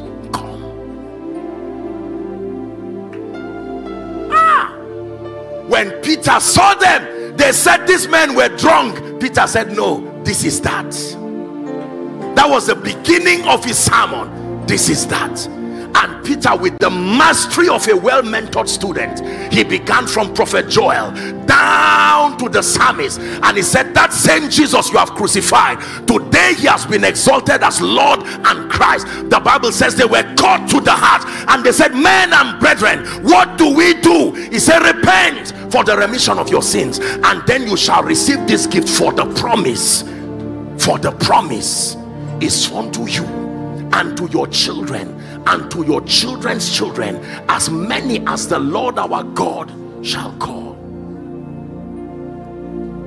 World evangelization is not just about moving from house to house to knock to tell people you are a sinner repent. They will arrest you and jail you and kill you. You will die early and it will not be persecution. It will be the death of a fool. There has to be a receiving of a how from heaven. Listen our victory in today's world is not from our oratory. Let me tell you the people who turned the world upside down were not that. We think that ministry and world evangelization will happen just because we can speak english just because we went to school. No sir. There has to be another strategy. Our assignment in the place of intercession and prayer is to wait until he comes and he comes with our how so for you he can come and say my strategy for your efficiency as a witness is go around Jericho seven times. And while you are going around it does not make sense. Do you know why I'm telling you this? Years ago the Holy Spirit spoke to me. Before internet became a mainstream that people would put messages and do all of this it was in the place of prayer and the Lord spoke to me. He said no my strategy for you will not be what was. At that time it was a major part of the revenue for a ministry would come from sales of you know CDs cassettes and all of that. And the Lord said it will not be like that for you. He says put it online. That is my strategy. My angel will take it to the nations. This was this was over a decade plus. I stupidly believed because he gave me the how can I tell you, you will fail as a witness until you stay to receive your how. One of the major assignments of prayer is not just for petitions, it's for alignment. Lord, where am I and where are you? Let prayer bring us together so that the how will be downloaded. When my how comes, don't sit down again. You pray. This is how you know that you have come to the end of your prayer. You don't stop till you receive the how. What is the blueprint for the next season? Many believers do not understand the dynamics of prayer, nor the superior power that is invested in the ministry of strategic prayer with understanding. You don't pray until you are tired. You pray with the goal of receiving how. The saints triumph in time past because they would stay with God should I pursue Lord what should I do they will remain there until the how comes. Can I tell you the how is a trigger. When you receive it it comes with power it's shut up in your bones you cannot be silent. There are businessmen who have not received the how to be able to do kingdom business that beats Babylon to its knees. So we go by secular invention trying to use a cart to carry the ark and we meet many casualties on the way God's end time agenda is to reach the nations through this twofold witness of the gospel enthroning Christ in the hearts of men and bringing through our excellence and the dexterity of our results the mindset, the value system of the kingdom across territories. If we fail in this, we are not effective witnesses. And our assignments is not just thank God for secular formulas, but you must know that secular formulas will produce secular results. We need to go back and say, Lord, you are the Lord of the harvest. How will this happen? And he says, for you, you are going to have a bank and the name of the bank will be this this and that. I will place an anointing on your bank and you will bank with kings and you will stand up and open a bank and people will say you are a banker. They are right but they are wrong. You are a banker who is executing banking as the how for your witness. Now that banking you you will see that in that banking is the mandate to reach the captains of that industry who would not come to an evangelist they perceive to be poor. So god gives you the royalty and the regalia of the palace so that you can reach them. For someone your how can be an investment of the tremendous healing power of God upon your life because you may not have the excellency of speech and just by speaking people will not listen but he will honor you with a demonstration of the spirit in a way that dumbfounds principalities and powers. You have received your how. Now time to go. So you get to a place and say good morning and someone gets up from a wheelchair. Good afternoon and a blind eye opens. Good night. When you leave they will follow you. All men seek for him now in the simplicity of your heart you can tell them i came with a simple message. Jesus saves. Jesus heals. How could they deny it when your evidence is standing in front of you? I forgot to tell you that the ultimate index for being an effective witness is that you must have your evidence. No witness is truly a witness until your evidence stands in front of you. In acts chapter 3 when they healed the man at gate beautiful are we together now? Acts chapter 3 from let's see 316 acts 3:16 they were summoned by the council and they began to make uh, they began to speak and, and talk in defense. It says and his name through faith in his name had made this man strong whom ye see and know. Yea the faith which is by him hath given this man perfect soundness in the presence of you all. 17 and now brethren i wot that through ignorance ye did as your rulers and all of that. Go ahead. Uh let's try 20 there's something i'm looking for. Keep please keep scrolling down. To get to the point where he says the the bible says that they could not deny it because the man was standing right there in their midst. That's what that's the scripture i'm looking for. They couldn't deny the result because these were witnesses with their evidence. The man who sat at gate beautiful. When you say God sent me to build a bank and they look at you and say you're a carnal person instead of you to be preaching you are building a bank God says don't worry your evidence will soon be standing. Your gospel is powerful to the degree that you preach with your evidence standing in front of you So there are many people who do not receive that how. They do not meet the Lord of the harvest and then they start a church. And then people come and they say, the Lord sent me to transform your life. Five years, the people are not changed. And they will say, you know what? I thank you for this, your call. I don't doubt your call. You are not fake, but I, I want my life to be real. I'm going to move somewhere else quietly and look for a solution. And now you are wondering, you know, many times I see pastors and they say, Apostle, what am I doing wrong? And I tell them, what you are doing wrong is not the call. What you are doing wrong is you do not understand the dynamics of being called and being sent. Just because you are called does not mean you are sent. You are called to Jesus, you are sent to the world. So you must understand the difference between your being called and your commission. When he calls you, it is follow me. When he makes you, then he sends you. The empowerment is not when you are being called. The training is when you are being called. It is when you are being sent that you are empowered. There are many people whose call is genuine, but they are not yet sent. You can be so effective in your following Jesus that people will tell you you are too effective. You should be sent now. And you can graduate yourself from the school of the spirit and be shocked that you know jesus so well but you have not met the lord of the harvest. Follow me. Why did he introduce them to the holy spirit again? When they had been with him. I know jesus. I agree. I have met jesus. I agree. I love jesus. I agree you will be shocked that you will still be ineffective because Jesus is not the Lord of the harvest he is the cause of the harvest if it is the harvest you want Jesus will will grant you that access to now be introduced to this personality called the Lord of the harvest. Sir, you are a man of the spirit and you have seen the great hand of God. I do not know one preacher, one kingdom person doing so much for God who did not encounter the Lord of the harvest the generals who have gone to be with the Lord today, they cried and called his name and said, make sure you meet the Holy Spirit. T.L. Osborn, Kathryn Kuhlman, great men even within our soil here. And those that continue to do exploits, they will tell you the reason for their exploit is because of their relationship with that Lord of the harvest. The how only comes from him. He is the Lord of the harvest. It is not your harvest, it is his harvest. So you must wait until he gives you the blueprint.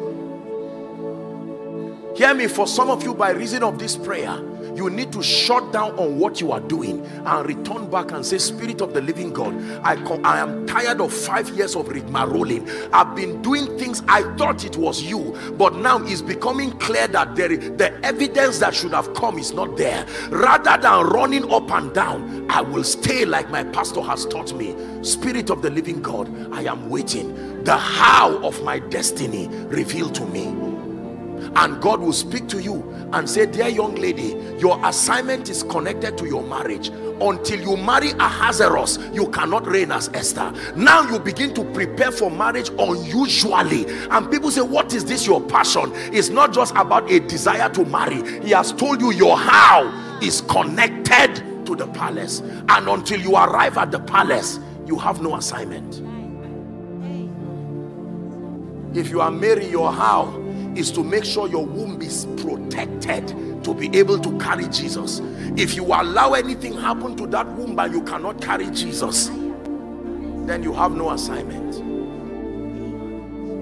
The first miracle this afternoon is the prayer to say, Lord, it is clear that the how has not yet come. The stagnancy in my life, the confusion in my life, it is clear that the how I know that you have called me and I love you. But could it be that I have ignored the ministry of this Lord of the harvest the spirit of grace? The Holy Spirit changed my life.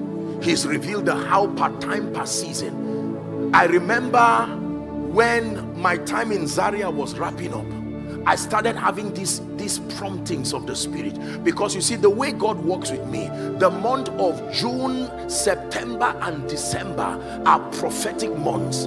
I have worked with God in, enough to know you must discern the seasons where His voice comes prophetically his voice can speak every day but know when the waters are about to be stirred that has it is through your consistency of staying with god every time june September, December, I'm not careless with those months. He's at liberty to use any time, but by my dealings with him, it's not a doctrine, it's a personalized dealing. That this is how God has chosen to walk with me. Do you know the season where he speaks? He's not always speaking, no, he speaks. The Bible will tell you the 10th month and the fourth day, the word of the Lord came I began to sense it in my heart.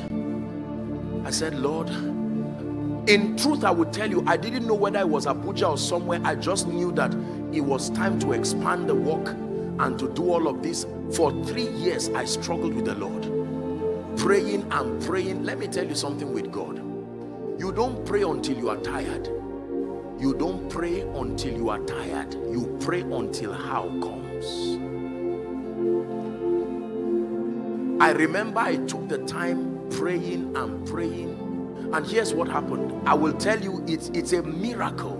Do you know when I finally left Zaria, it was unplanned for. I went to South Africa for a meeting, returned back for a meeting in Lagos. And then I now had to rush back to UK where the last people who left London before they shut down for the pandemic. So I returned back to Abuja rushing to do the miracle service in Zaria when they announced that there has been shut down, lockdown for the next three months. That's how my house came. that I was there and I said, now just did a video to tell them, okay, I love you people. And um, there's, there's lockdown. And so everybody, and I used that time to begin to pray. And the Lord said, the season has come. I said, God, where again? What is all this? Whether it was Abuja or Jos or anywhere, I would be the last person to want to be in Abuja. Believe me, I love Abuja, wonderful place, but I just said, no, no, no, no, I'm not sure I'm ready. Maybe let me go somewhere else. And I remember one day, see, it is a difficult thing to live in the silence of God. When God is silent, keep praying. Don't assume a voice that is not there. Satan is a master at speaking in the silence of God so that you will think he's the one. But prayer can filter it. Prayer can always cause the viper that is hiding in the wood to come out. So prayer is a tool for discerning error. If you hear and you are not sure, stay and hear again once have I spoken God is not at he, he, can allow you to hear even if it's five times provided to end up letting you know that all power belongs to God I took out time praying praying and through one or two prophetic confirmations that came from great men of God and then something happened one night I remember the Lord now gave me an instruction he said buy the map of Abuja the map of Nigeria, the map of Africa, and the map of the globe. Lord, this is not what I'm asking you for. Clarify. I'm grateful for that one. I sent immediately, they brought the map. I began to pray intensely, praying on those things. And then the final confirmation came. I had set my, I was not even praying, just enjoying worship. And as I placed my head, I just saw the vision the map of Abuja. This when you are coming towards that stadium side, I still don't know even the names of this, this, you know. And I saw that that map like the city gate. That's why you see the poster that introduced this. I said, look for that gate and replicate it. Immediately I saw it. I said, this is that. Lord grant grace. The how had come. I didn't care what else was not there. The one who brought the how is responsible enough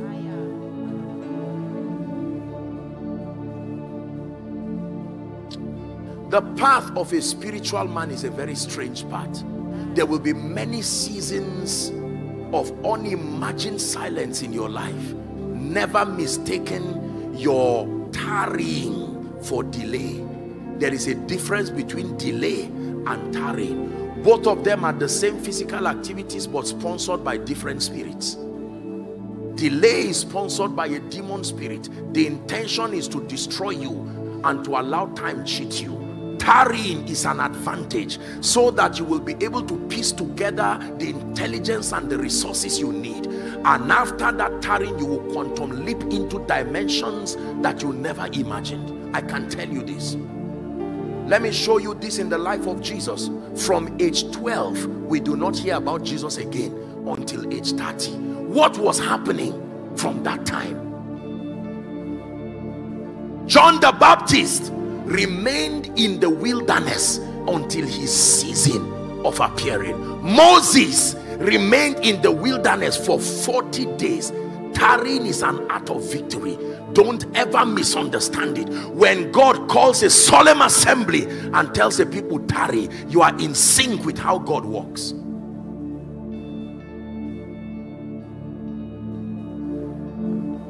Hear me, people of God.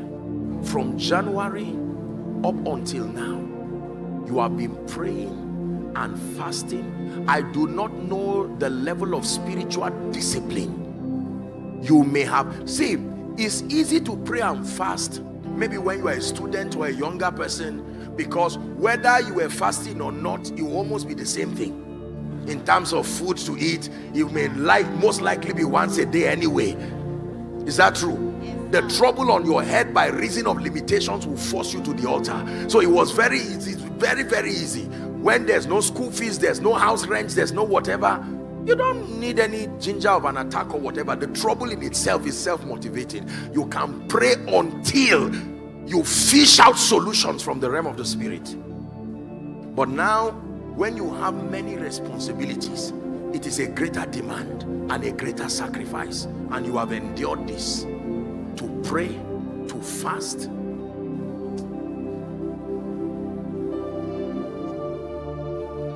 I have seen the benefit of waiting upon the Lord. I have seen the benefit of waiting until the how comes. Hmm. No matter how long, wait till you get the how. Did you hear what I said? Your pastor has waited Jesus was waiting when they were ahead of him, six hours ahead of him. Those with the boat, they had gone, whereas he was praying. You would call it delay, but he got up immediately and started walking on water. And within a short time, he had caught up with those who went. And to the point that they looked at him and said, If he bid thou, bid me come. And he said, Come. And Peter also started walking on water. Listen to me, we are going to pray. You are wrapping up your time of prayer and fasting but i'm here to join faith with your man of god to instill this as a spiritual culture more than just the end of a program. If you end it as a program you've aborted a powerful strategy for victory in your life. Every time god sends you call the lord of the harvest and say father i am prepared but i cannot go until the how comes you will know the how you will know that the how has come because both the instruction and the anointing will come. The instruction and the anointing.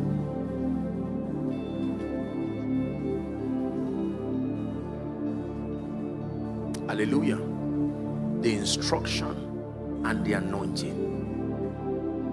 For some of you your witness is in the area of your career right now but it is not supernatural because the how has not been given. You are still working with sophia human wisdom. I am a banker buying and selling. That is wonderful. Unless and until you obtain the wisdom that comes from above. And now add it you will see the wonder working power of the spirit. Nigeria is in a very trying moment right now even politically and as always there are many opinions coming from everywhere. But believers must pray. Rather than making a lot of noise we need to pray first. We are going to act but acting without prayer will only recycle pain because we will judge by the flesh. We this we we should use this same formula nationally. Lord we do not trust ourselves. We are inconsistent in our minds and our hearts and frail and limited but we depend on the Lord of the harvest send us our how and when it comes with bending unbending determination God will enthrone himself. We're not the first to be in this situation. Some of you right now, you are in a financial situation. Don't just get up and say, I'm in a financial situation. I need is, is, is business strategy. I listened to a business, uh, um, um, uh, what do you call it, seminar, and it just said, just do this. I agree and I respect what you heard. But in this world of spiritual triumph, ignore the Lord of the harvest and recycle pain. Ignore the Lord of the harvest and recycle negative seasons in your life. But you can come to the how. And sometimes it can be a ridiculous instruction. You are a businessman and things have gone down. But the Lord is going to give you an instruction and say take a sacrifice and bring it to the life of your man of God. I reject this voice. How can you come and meet me and say I should do this? Listen not every pain destroys. When a doctor meets a patient who is almost dying the doctor will bring out a syringe and add to the patient who is already crying. Why will you add pain to somebody in pain? In that pain there is a chemical that will flow through that injection into that person and it will begin to bring healing. So you will see a, a, somebody who is in the hospital almost as if he's dying and yet the doctor with a heart full of compassion it will be through the channel of that pain and that sacrifice. It can happen many times and yet recovery happens mysteriously. Not every pain is from the devil. There is pain as a gift that announces the change of seasons. Sometimes the pain of carrying Isaac is the pain that makes you the father of nations. You must learn to discern and interpret pain. When you give a patient injection the goal is not to destroy that patient but sometimes you can take five doses a miracle service on Sunday, a woman came who had a, a spine one problem and she said she's had over 200 and something injections. I couldn't believe it. Will I stand to allow anybody inject me like that? 200 and something, what part of my body will be left? 200 and something injections. How many veins are in my body? For some of you, you are in a season right now where it looks like spiritually you are in ICU and you've said, Lord, come and he brought you through the pain of fasting. And you are saying but lord is this how you help people to fast and pray? Can't you just give me money? What is it about money you cannot give me? Is it my rent or my house? Why are you what is this thing? Just bless me directly. Where are the fishes that have coin in their prophetic? You know and god is saying just go through that. The pain of fasting is like that spiritual dosage you've been receiving from January to February to March to April to May now to June. You will step out of this place and see a burst of vitality within your spirit. That after your prayer and fasting someone will call you and say since January I've been looking for you. You will now know it's not a demon that kept him. God kept him for you because you would have misused that money misused that opportunity because your spirit was not even sensitive. The devil would have led you to make wrong decisions and you would have been in trouble. The lord instructed that i should give you a house in Maitama i don't know you but i will obey god. And you will hold it and say it's a lie. God said what is it about a lie? What what is it that is i can't i do it? And just while you are saying that somebody parks a car in front of your house and just when you wake up and allowed to wake you up that you will report yourself to the police and say i'm reporting myself now so that nobody will say i stole money and then god will now tell you i had the power to do this but my interest is your heart not the things I know what I'm saying. The way of the spiritual man is mysterious. Matthew chapter, John chapter 3 and verse 8. 3 and verse 8. The wind bloweth where it listeth, and thou hearest the sound thereof Thou cannot tell whence it cometh and whither it goeth. So is everyone born of the Spirit. The way of the spiritual man, you can't create a natural sequence to it. There are times you will see him mysteriously rushing, and there are times you will see him waiting. And that wait can be one year, two years, and you are wondering, what is it about your life and why the silence? Then God will bring 10 years in one month and put for you.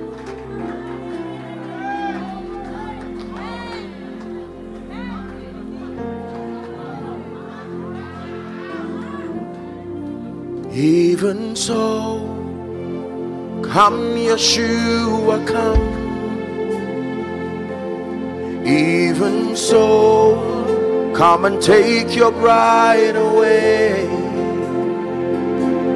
How my soul longs to see your face, my Lord. Even so, even so.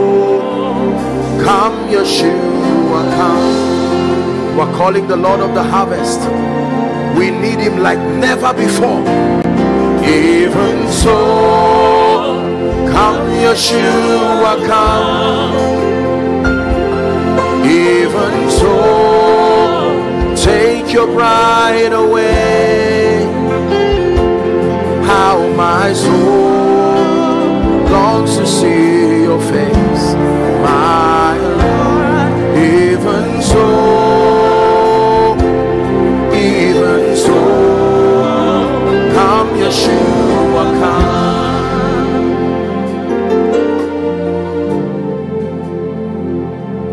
We will wait upon the Lord,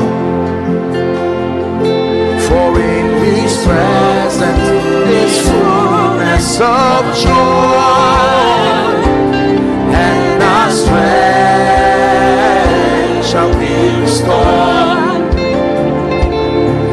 we wait. Listen, my first encounter with the power of God, please sit down. I used to go every night and just pray and just pray and return back.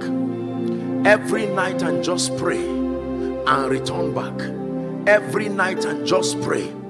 I used to watch Benny Hinn that time and I would see this man come to minister and just stand and people are rising from wheelchairs. The power of God it was like a mirage.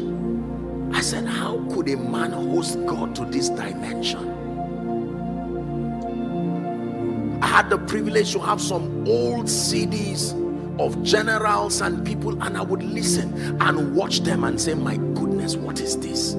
Such spectacular display of the investment of the spirit upon a man. I continued every day. I did not know that every day and every time of prayer was like a spiritual register you were signing. Because if the cloud be full of rain rain does not happen until there is sufficient evaporation and condensation. Biology teaches us that. One night i remember clearly there was a dear lady I was praying and there were other people who used to pray then. We used to call it lawn tennis courts then in Zaria and ABU there. And then a lady came. And this lady came to, I don't know what brought her to seek counsel for something. I don't know. I can't even remember the lady. And I remember I just stood in front of her and my hands began to shake. I had barely lifted, I, I just lifted my hands and this lady was like a pack of cards on the ground. I was almost afraid. I said, I hope this lady did not enjoy herself the way she fell as though she was dead. She got up again, and then I started seeing spectacular manifestations of the Spirit of God. I said, This is the same thing I saw happen to people. And then I remembered that the same Lord is rich unto all. That if you will pay the price of alignment, obtaining grace from the Spirit to walk in keeping with the conditions that make for power, nothing then robs you from carrying genuine, authentic spiritual power.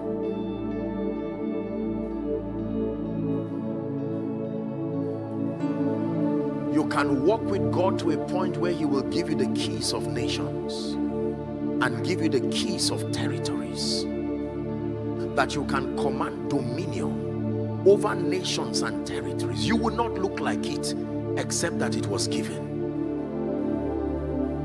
That you will speak and kings will respond because the word of the Lord is upon your lips. Let me tell you, prayer is powerful in preparing you to be an effective witness.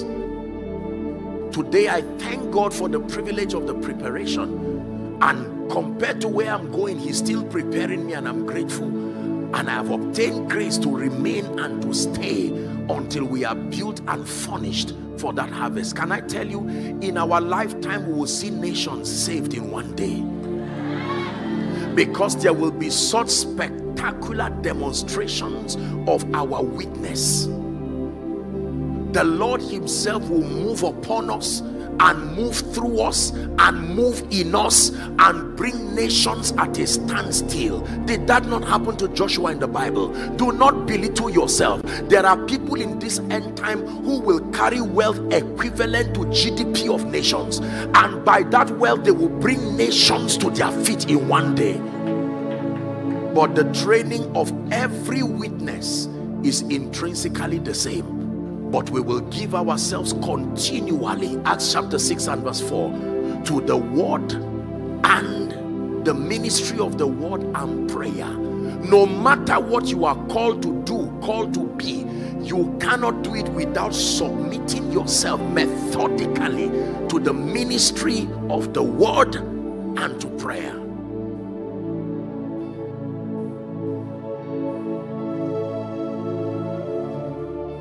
pray without ceasing to immerse yourself in the word in fellowship and in partnership with this Lord of the harvest as he reveals your how per season per moment per level. The reason why we are bold to do and say the things that God is doing through us is because we receive the how. There is no fear Moses if he told you how he already told Moses Pharaoh will harden his heart. So when Pharaoh was acting like a beast, Moses was not surprised. He didn't leave disappointed. It was part of the how. But by a great and mighty hand, in one day, he brought the nation of Israel. Something that 430 years of captivity and murmuring and complaining could not do. One day. Do you believe God can use you that much? Do you believe God can walk with you that much?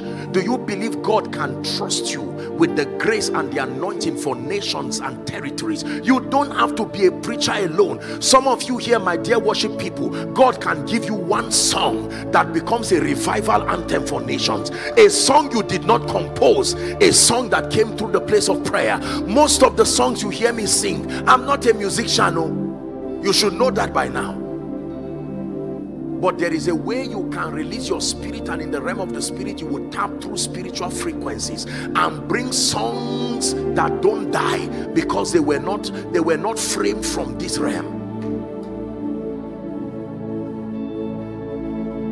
Holy holy blessed is he who comes in the name of our these are some of the spiritual songs that come from the place of the spirit.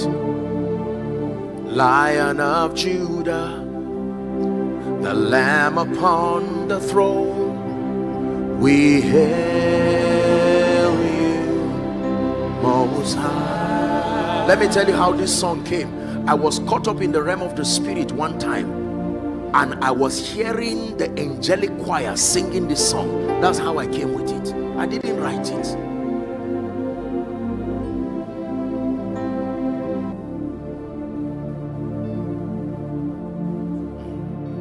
Lion of Judah, the Lamb upon the throne, we hail you, Most High.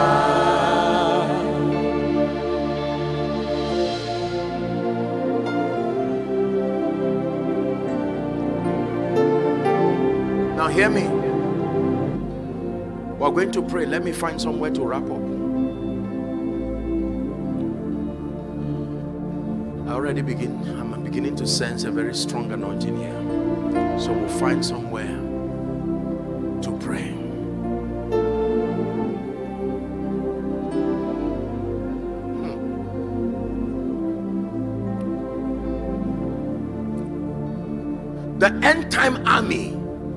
has a three formation strategy. The end time army has a three formation strategy. Number one, the first formation of the end time army is the emergence of prophetic intercessors. Write it down. The first strategy for the end time army is a sudden emergence from every church every region every nation of ordinary people. Like pastor was saying some of them uneducated some of them inexposed but men and women who have found grace with god. An emergence of prophetic intercessors. Ezekiel chapter 22 from verse 30 and 31 30 and 30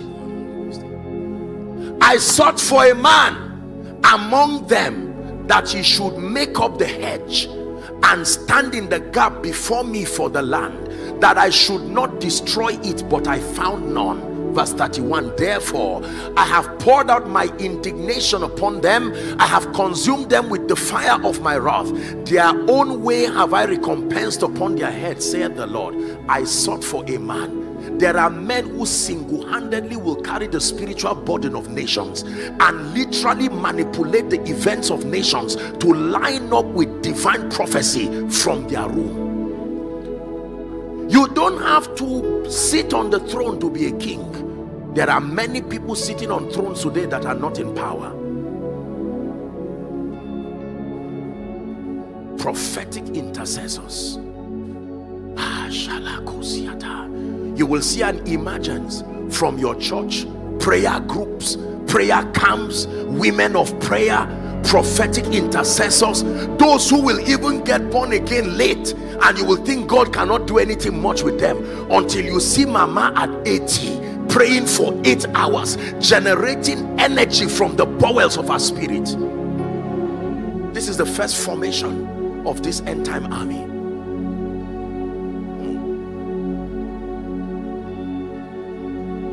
Write for reference Isaiah 52 from verse 1 and 7, 1 to 7, Isaiah 52 1 to 7. The emergence of prophetic intercessors. Awake, awake, put on thy strength, O Zion. Oh, beautiful garments, you know, Jerusalem and all of that. So you read it. We're not going to read it for time's sake.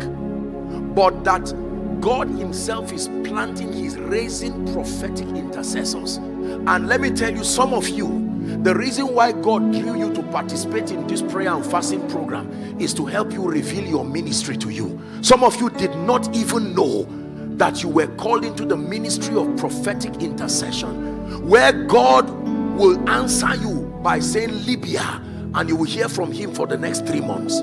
That becomes your prayer project. Every night, and suddenly you hear that there is such a move of the Spirit happening in Libya most people do not understand intercession. Let me tell you the life of an intercessor is a strange life. Ask anna the prophetess. In fact out of all the ministries of jesus the one he still kept today is the ministry of the intercessor that he's still seated at the right hand of the father and still making intercession for the saints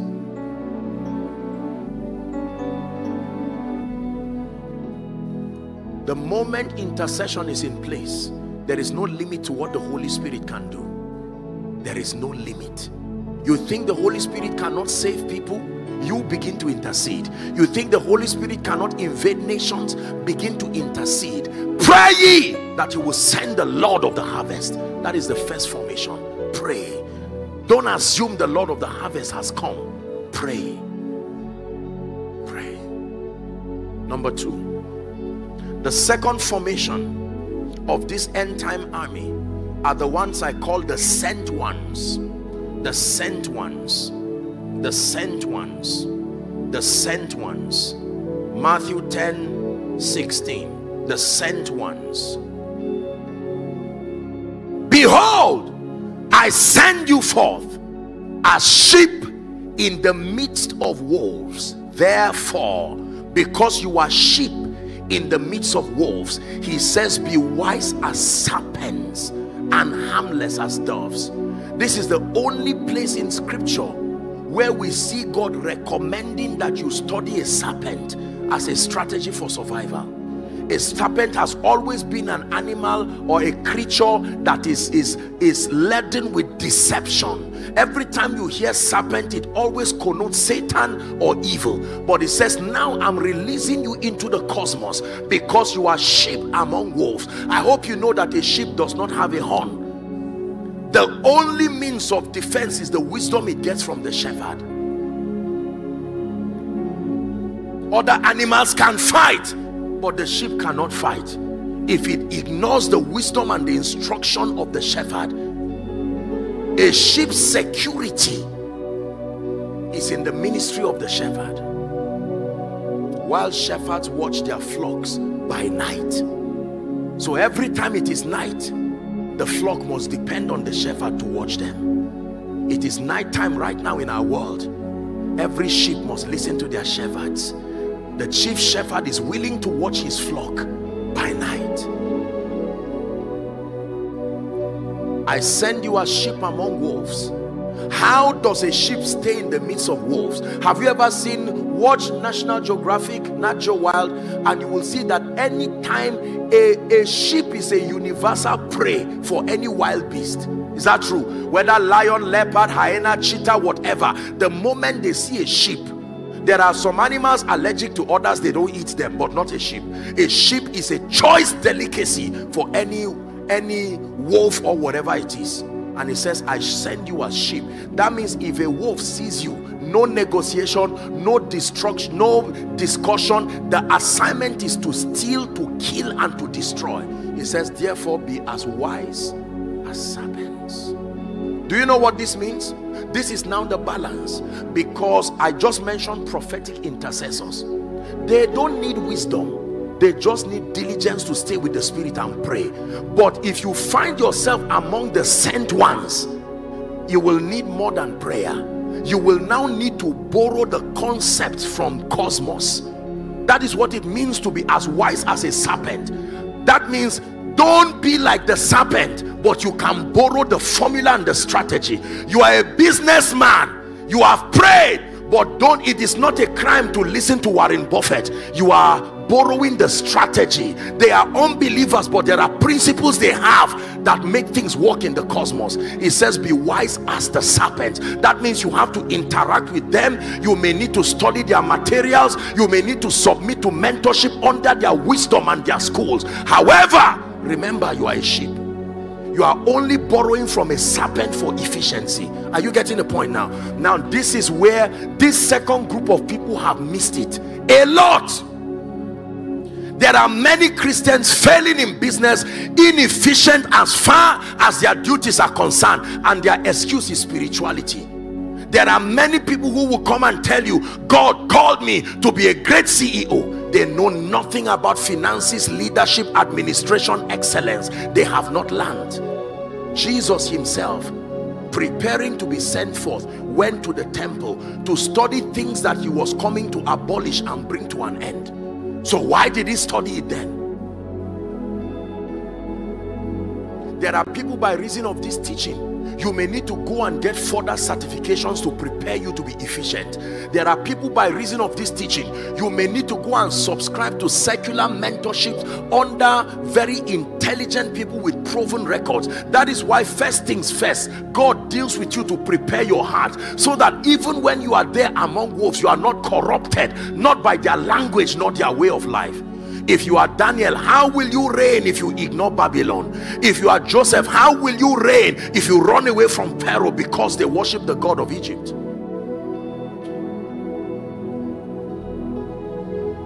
So many believers do not understand relational principles and you will be in an environment where you are the only child of God in the if you have to mention Jesus to demonstrate the life of Christ you are not a true Christian there is a dimension of your life that can reflect Jesus even without you saying it. Be wise as serpents.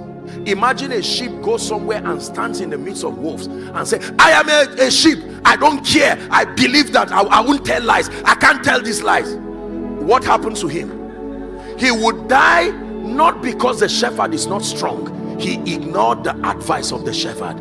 It says be wise as there are many things about a serpent to learn. The first is that all animals when they kill their when they kill their prey they still leave traces and evidences. But a serpent swallows the digestion happens inside. So you do not even know what it ate until you catch it at that point. and then where it kills is different from where it eats.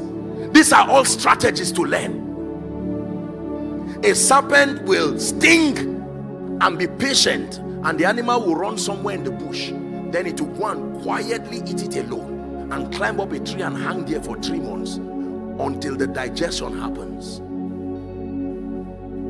What kind of creature without legs cannot run with the laser speed of a cheetah does not have the ability to dig holes yet every other most animals including especially human beings fear it more than that. There are people who will run away. You will run away from a dog. Even if he wants to back you you will be bold and you will fight it. But once you see that creature no legs. It does not even have many points where it can sting only a, a, small projection and yet you run away. So what is it? What attitude? It's afraid of you but it gives you an impression that it will not run away from you. Be wise that means even when you are threatened by something in the presence of cosmos you never show fear you return to your secret place that's where you say lord behold their threatenings and grant your servant that through your holy hands ah, you don't cry before them uh -uh. You stand strong and stand bold. You can now cry before the Lord. Lord, this person is using divination clearly and he has vowed to destroy me. I have defended you standing in truth. Protect your name upon my life. And then the Bible says the Holy Ghost fell upon them. They were filled with faith and courage again. And you return back to the office. And God takes responsibility for your defending his name. Be wise as serpents. Is someone learning? We need to bring this balance in church. There are people who during office hours the most productive period they just hold their hands and they start praying. They are praying and shouting whereas the company is losing millions and thousands of naira and dollars and they will sack you and throw you away. You have ignored the wisdom of the shepherd. There are prophetic intercessors. You are in the temple oh anna the prophetess so any time is valid. Pray without restraint and roll on the ground. But now when you are a sheep among wolves you have to study how wolves behave this is not compromise, this is adaptation.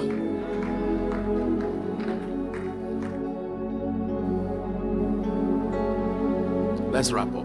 Is it three o'clock? Am I right on that? Oh dear. Okay, the last group, the last strategy. Haggai chapter 1 from verse 4. These are called kingdom financiers. Please listen. I'm revealing to you the tripartite formation of the end time army. The first group, prophetic intercessors. The second group, the sent ones. The ones who will directly invade cosmos and institutionalize the consciousness of God in the hearts of men and across every strata of human activities. But the third, they are called kingdom financiers. Haggai 1 4 to 8. Is it time for you, O ye, to dwell in your sealed houses, and this house lie waste? Now therefore, thus saith the Lord of hosts, consider your ways. Ye have sown much, listen, and bring in little. Ye eat, but have not enough. Ye drink, but are not filled with drinks. Ye clothe you, but there is none warm. And he that earneth wages earneth wages to put it in a bag with holes. 7 thus saith the lord consider your ways. He said go up the mountain and bring wood and build the house and i will take pleasure in it and i will be glorified. Keep that scripture there don't assume you've read it. Let's look at it carefully. The first instruction is not to bring wood. It tells you where the wood is found. Where is it found? Up the mountain. Do you find wood on the mountain? You find wood in the forest. But he says this kind of wood you have to enter a system where exchange happens. The mountain is not only the place of buying and selling. Remember, when exchange was going to happen between Satan and Jesus, he took Jesus up the mountain, into in fact, and said, let's exchange there. So he's saying, for this group of people, you want to bring the wood that builds my house, master the art of going up the mountain he says don't return empty handed you are going there with an anointing. You are going there with products and services. You are going there with creativity. Mountains represent spheres of influence. He says go up the mountain. There is a particular mountain where you find wood. He says bring wood from there. Use that wood you have brought to build me a house and I will be glorified. Listen this is a prophetic word for someone here. You may not even know what has driven your passion for financial prosperity. You have prayed, prayed and repented and felt guilty because people have made you feel that this is my passion for money. Is it that I'm obsessed? Is it carnality? I'm interpreting it for you. It is the burden of a financial apostle there is something upon your life looking for you. And he's saying go up the wood. Apostle you don't know how many times i've failed in business. Don't worry. You didn't attend this program. That's why. Now that you are here. When he tells you go up the mountain and bring wood it means you did not go empty handed there must be something you carried that will help you to fell that wood and to bring it down and then to come and use it to build a house. Go up the mountain. For someone, you have been ignoring this instruction. That's why all the resources that is supposed to have funded the work of God. That's why pastors today have stopped the work of preaching and are begging around for money. Why? Because somebody has refused to do his assignment. If somebody had gone up the mountain to bring wood, you can say pastor i'm overriding this this budget for one year.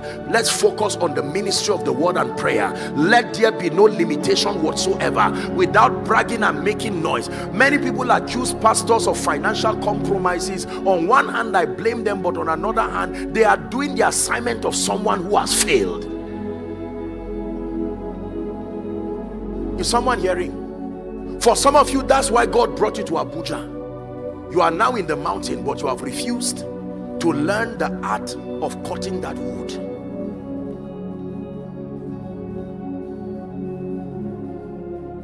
The house of God has not been built. The program of God has not been advanced. And there are others who went up the mountain and brought wood and ran away from the house of God they received the empowerment to rise up the mountain and because they were not mentored they just believe that every man of God is fake who talks about money Believers must be mentored to understand the purpose of the kingdom wealth God has given them. That God empowers us for three principal reasons. Number one, to live a comfortable life. Number two, to provide financial resources for kingdom advance. It's not a favor, it is a responsibility for every witness who understands God's program and who loves Him sincerely. It should not be something that happens at a special moment it should be part of the mentorship construct of every witness in Islam they are taught by default the wealthy people know that as God blesses you whether you are a serious Muslim or not there, there has to be a portion of your resources for the propagation. And, and, and, and, and with respect to that agenda that is a beautiful understanding. Let me tell you the truth. The kind of wealthy believers we have in this city in this nation the body of Christ should not have any reason to be in want. Believe me I know what I'm saying. Now it doesn't mean to sit down and keep claiming people's things. We must take responsibility. But the key is to educate and enlighten believers to understand that as God blesses you listen this is all of you. How, much, how many foods can you eat? How many cars can you drive? God cannot be giving you a billion dollars just for yourself. You are smarter than that. How much will you spend in your lifetime? If you travel every day, how many nations are in the world? There must be an agenda bigger than that. When he gave you the gold from Egypt, it's because you will build him the house in the wilderness. Never forget the purpose of the gold. You can use the gold to do two things. To build an image and say this God brought me out of Egypt or to build the house of the Lord whether it's for God or Satan you will build an image eventually whether an image of a God or an image of Jesus Christ. For some of you here I know you are prayer warriors. For some of you here you have received prophetic words from the man of God laboring. Now I'm, God sees my heart. I'm teaching you truth from the word. There are many of you here. It is possible that none of you has come with a seed. I'm not talking of you are in trouble and you want to tap to come out. That's different. Because there are many believers who, once you see piles of seeds, it is because they are coming to negotiate. And there is a place for that. But I mean maturity, spiritual maturity to know that this is part of the blessings of the Lord.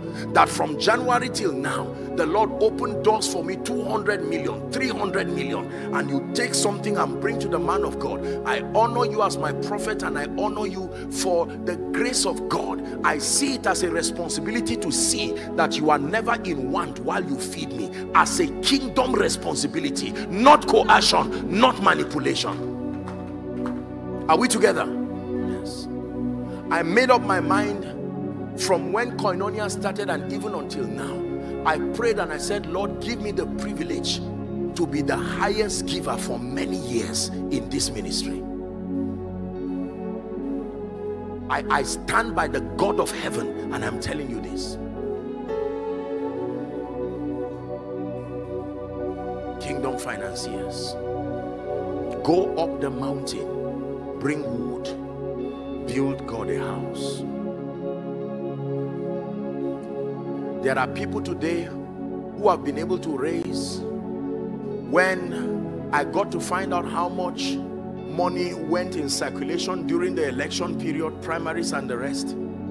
I just said, oh dear, Lord God of heaven, how many churches, how many mission agencies, how many platforms that can mentor and build and bless people. I said, Lord, there has to be a strategy out of this thing. Please empower those who love you and know you and have the integrity to walk in truth and righteousness. But there are people, some of you have failed in your assignment. That's why it looks like we are limited. God is calling you by this program. It's time to go up the mountain. Go up the mountain is not to hustle. Go up the mountain is not to carnally move, just trying to make sure you make money anyhow. You will end up in jail if you take that, that way. Remember the Lord of the harvest again back to him. To walk circumspectly as wise and not as unwise.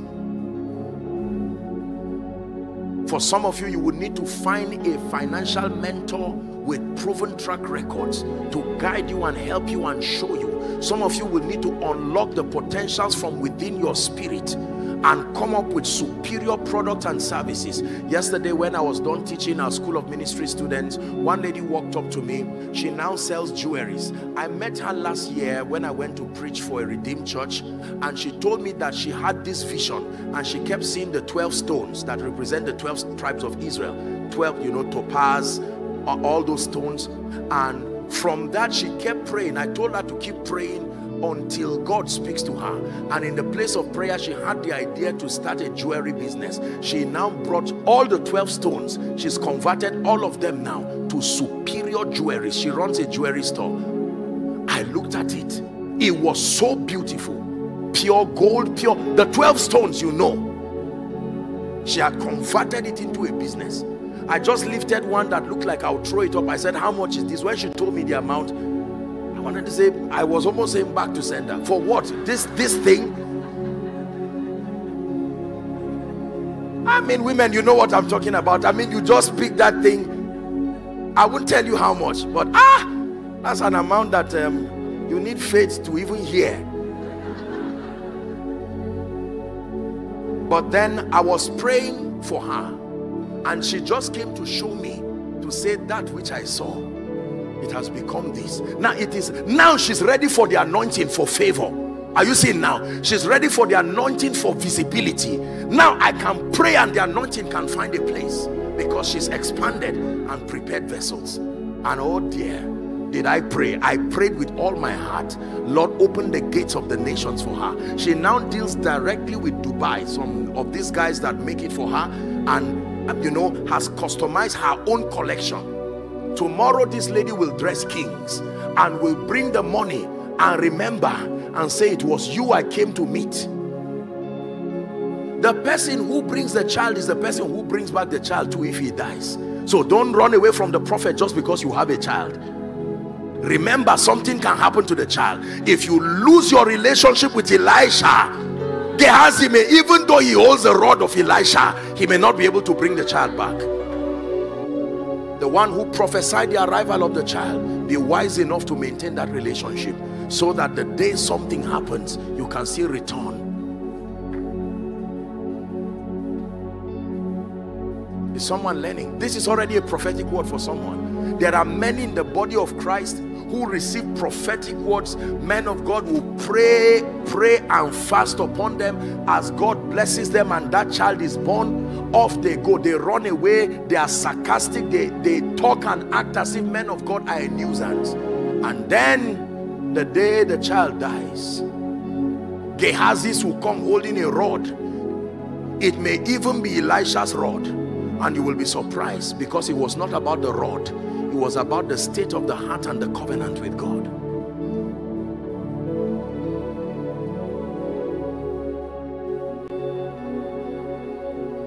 Are we together? Now, watch this.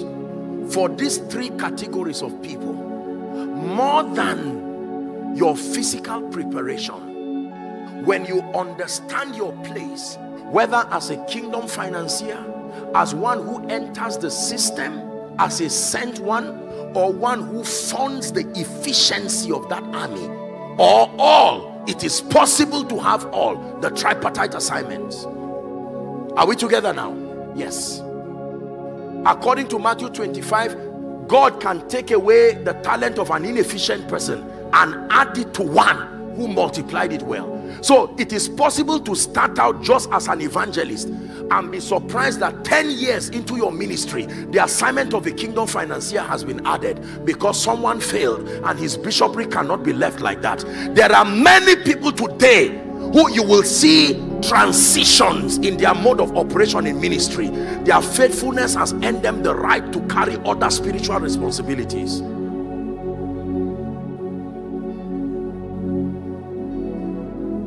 for all of the categories you will need empowerment. This is where we find a resting place and even to pray. Spiritual empowerment and impartation is a very deep mystery. Most people have not understood it unfortunately.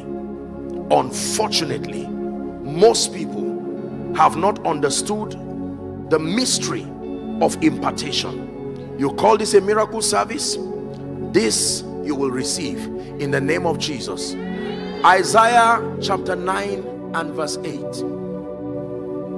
Isaiah chapter 9 and verse 8 the Lord sent a word to Jacob. Say Jacob and it lighted upon Israel. Say Israel. So Jacob is a person but Israel is a nation that every time God intends to reach Israel his strategy is to find Jacob and reveal that which he intends to communicate to Israel and even deposit the investment of that grace upon Jacob. So every time you see Jacob anointed begin to rejoice because it's only the starting point not the finishing point of that anointing. Remember Psalm 133 the oil starts from the head of Aaron but it does not remain in the head. It flows to everyone aligned and connected. How many of you have stood before the shower? Do you lift your leg to be above the shower? Your head is the only part that needs to be there and the body is patient and happy in advance. Why? Because the water from the head will reach even under your feet. Once the leg removes itself and detaches itself from that organism you can be sure that you cannot bath. Is that true? But the whole body stands but there has to be only one part of the body directly facing the shower. And yet the intention is to bath the whole body as it flows from the head the entire body is rejoicing and everybody waiting for their turn with joy. And you will receive so much abundance the water will even be flowing no part of the body can retain the water because of the abundance. The head is lavish enough. So you don't fight because you see it on the head. And the hand is saying i'm the one who put on the shower. Just be patient. From the head it gets down. Can I tell you that grace God has put upon your man of God that grace God has put upon us by the election of grace the days of superstar Christianity is coming to an end. I tell you sincerely as ministers of the gospel we must be responsible enough to understand the purpose of the anointing. It's not just for yes thank god for the honor that follows the call. But let me tell you more than that there is an assignment that we must not forget. The oil on your head will not serve you much until it flows to the body. So as we stay in the place of prayer as God continues to invest that grace upon us we run back to the body and say as privileged stewards we have received this and such as we have freely we give so that the body will now be efficient this is one of the things that I've come to do tonight the Bible says in the parable of the ten virgins, five wise, five foolish. The suggestion of the bridegroom, he said, go to them that sell. Not everyone is in want. There are those that sell. You don't buy it with money. You buy it with honor. You buy it with discernment. You buy it with meekness. You buy it with recognition. But there are them that sell. Believe me, when you are struggling in any area of your life you don't have to die there check the body of Christ with discernment there are those that sell There are times that you can go around a city looking for maybe a part of a car or something. They will tell you it's not in Abuja and you will suddenly find one woman as the only supplier. And you can meet and say ma can i partner with you and also start supplying? Sooner or later that part does not become scarce again. Because from one person he or she was benevolent enough to share their ideas. Oh i get it directly from dubai. I get it directly from uk now you find out that everybody has it. Now with abundance always comes abuse but it's better to have abundance at least all through in scripture every time you see abundance you also see abuse. Whether it is solomon whether it is multiplication of five loaves and two fish the side effect of abundance is abuse. That's why god trains men thoroughly before he exposes them to abundance. Are we blessed? So he sends a word to jacob and it lights upon israel. Philippians 1 7 we're wrapping up Philippians 1 7. Apostle Paul was speaking over the church in Philippi and he said, Even as it is meet for me to think this of you all, because I have you in my heart, inasmuch as both in my bonds, he says, and in the defense and confirmation of the gospel, he says, Ye are partakers of my grace. You know what it means to be a partaker? A partaker is not the original recipient, but the partaker benefits as much as the original recipient. You see that in the life of Abraham and Lot God called Abraham alone. The Bible says and Lot went with him. Genesis 12 when we get to Genesis 13 everything Abraham had Lot also had. You will not even know who was called and who now tapped. But Lot made one mistake. He detached himself from Abraham and plunged into limitation until he found himself in Sodom. Numbers chapter 27 from 18 and 20 Numbers 27 we're about to pray. Numbers 27 and the Lord said unto Moses please look up. It says take thee Joshua the son of Nun a man in whom is the spirit already and lay your hands upon him. Is that in your Bible? We're reading to 20 and then it says set him before Eleazar the priest and before all the congregation and give him a charge in their sight. Verse 20 i like this. I like this. Please read with me. One to read.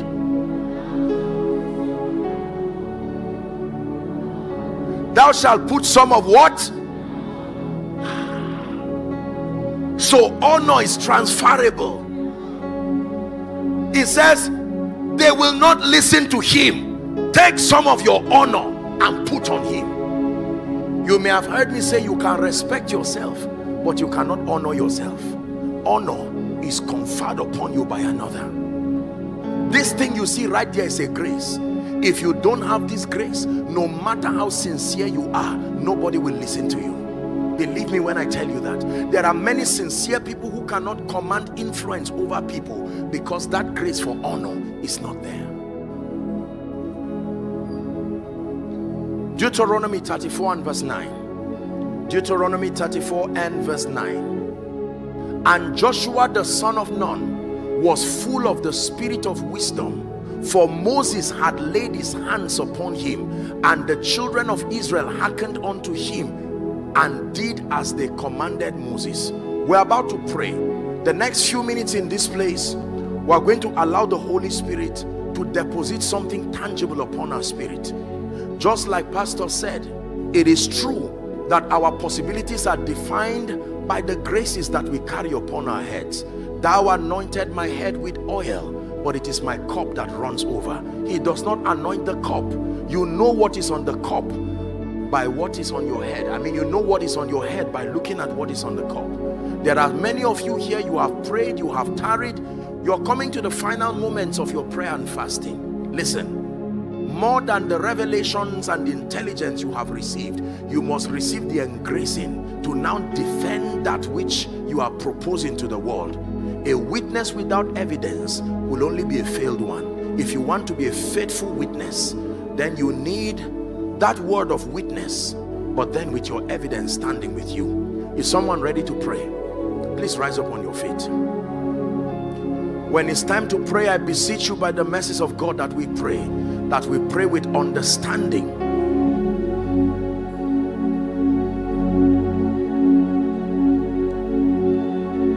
I'd like you to thank the Lord for the word you have heard. Several dimensions of truth communicated by His Spirit.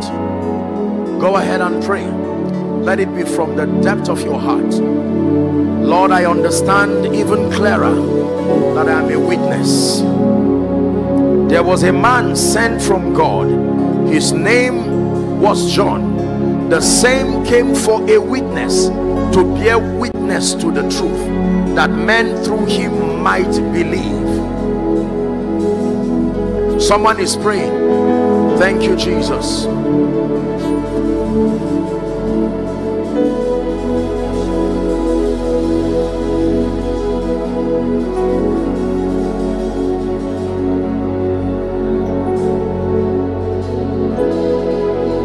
Prayer point number two. Father all it takes to make me an effective witness may i receive it right now. Please go ahead and pray. All that it takes is it prosperity? Is it influence? Is it revelatory grace? All that is required for my effective witness to make my contributions as far as kingdom come is concerned i obtain grace. Someone is praying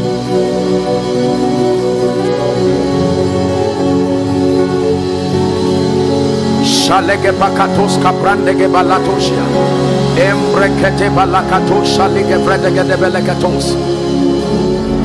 I obtain grace, I obtain grace. How God anointed Jesus of Nazareth with the Holy Ghost and with power. He went about doing good because he was anointed with the Holy Ghost and with power. He went about doing good and healing all they that were oppressed of the devil. For God was with him. God was with him. No man can do these things except God be with him.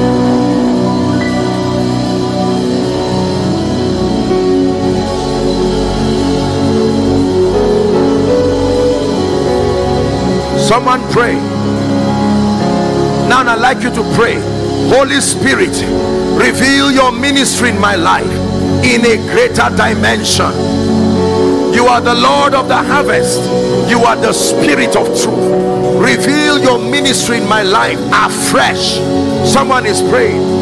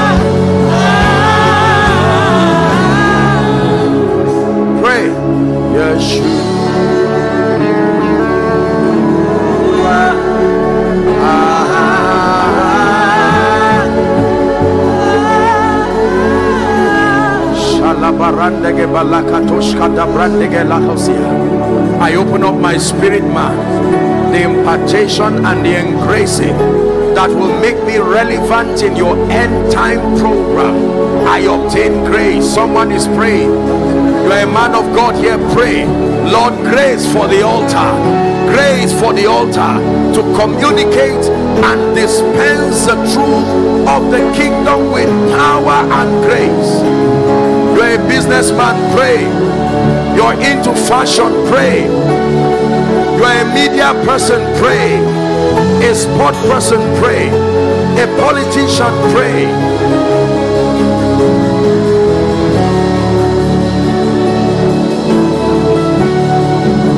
Please pray.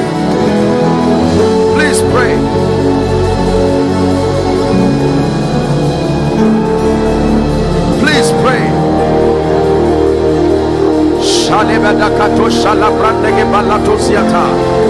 Ah, shana shalabaratosiata. Yours is the kingdom, yours is the power,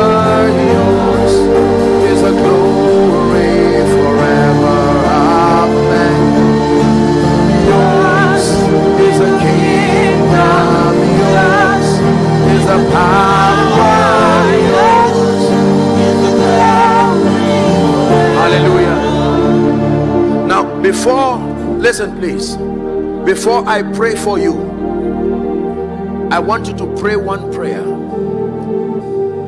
Listen, do you know there are many people today who are unable to do much for the kingdom simply because God has vetted them and He has found out that they do not have the staying power to still love Him in the midst of plenty. They do not have the staying power to still love Him in the midst of results. They do not have the staying power to love him as he announces them. So he will vet them and keep them in a certain position not because he hates them but that is the best position to allow their efficiency versus their love for him. You have to pray. Listen let me tell you the truth. Many of us want to rise. Many of us want to command power and influence over nations and territories. This morning my dear people um, from Zaria they came to celebrate my birthday and they were going back and they did something as a gift. I don't know where they found it. Photos from when the ministry started. You know when I was almost looking like a dead man wearing all kinds of things like two people's materials on myself. And they gathered all those things together and put it in an album up until I think few weeks ago. I don't know how they did that. And as I opened it tears filled my eyes. And I could almost with every turn of the page I could remember things God told me in those seasons and those levels. Can I tell you if God has discerned you will disappoint him and you will be a casualty to the body. It's not Satan. He himself will beg your growth as a sign of his love. Because your soul is more important to him than your fame. Your soul is more important to him than your result. You're going to pray one prayer. Lord grace to stay and remain with you. The grace to stay and to remain. Someone please pray. The grace to stay and to remain the grace to stay and to remain. Shabragate balakatos koto brande la hasia engrados zine hasinaba. Someone pray.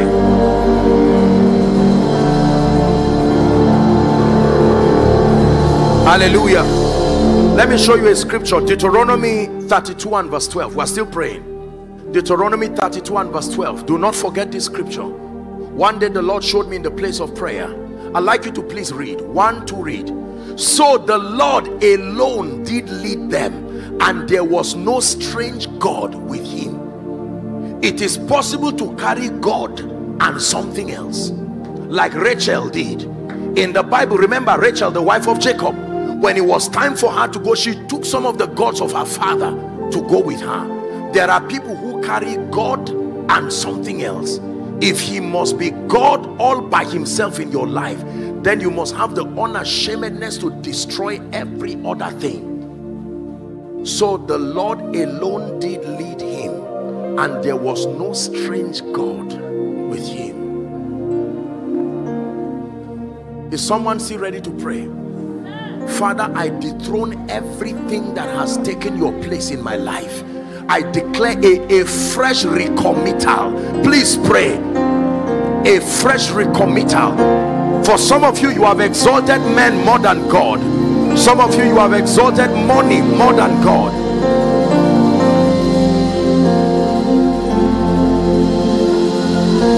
Some of you have exalted preaching more than God. You have exalted ministry. You have exalted marriage, business, money. You have exalted fame. God is calling you to return to the altar. Please pray. If you must see his glory, he said, sanctify yourselves. That was the instruction he gave Moses to give them. You want to see my Shekinah and my glory? Sanctify yourself. Alanena shalako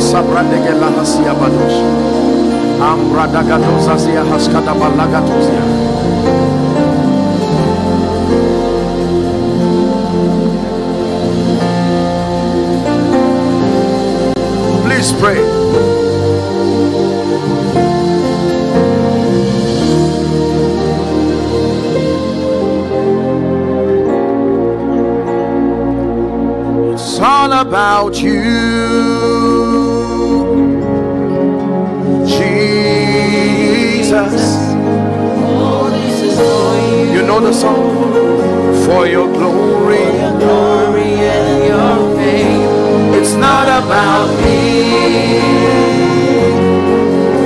as if you should do things my way. You are God, and I surrender. One more time. It's all about you.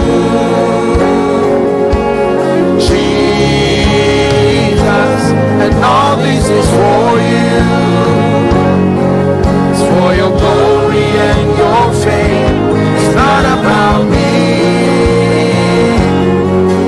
As if you should do things my way. You I. One more time, from the depth of your heart, it's all about you. Jesus, all this is for you. It's for your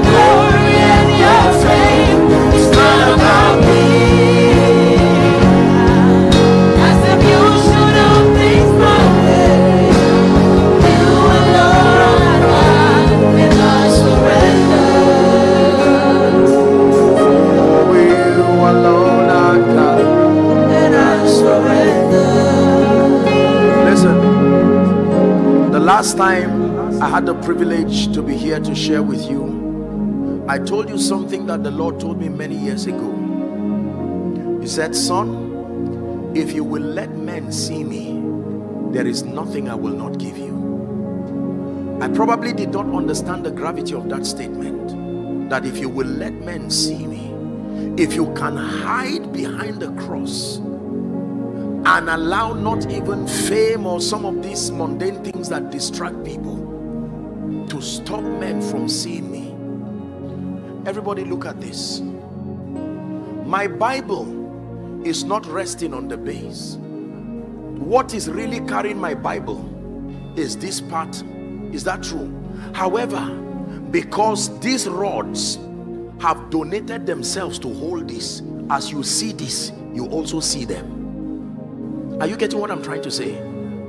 This is Jesus Christ lifted up, but it is impossible to look at him and not see the one lifting him. Most people do not allow Jesus to be lifted in their lives because they feel exalting him will so diminish you. John the Baptist did not say that I would diminish or disappear. He says that I will decrease, that you might increase. So that when people their focus will not be on me. Somewhere in their minds, they will thank God for me. Like Galatians 1:24 says, and they glorified God in me. But more than that, they'll see you high and lifted up.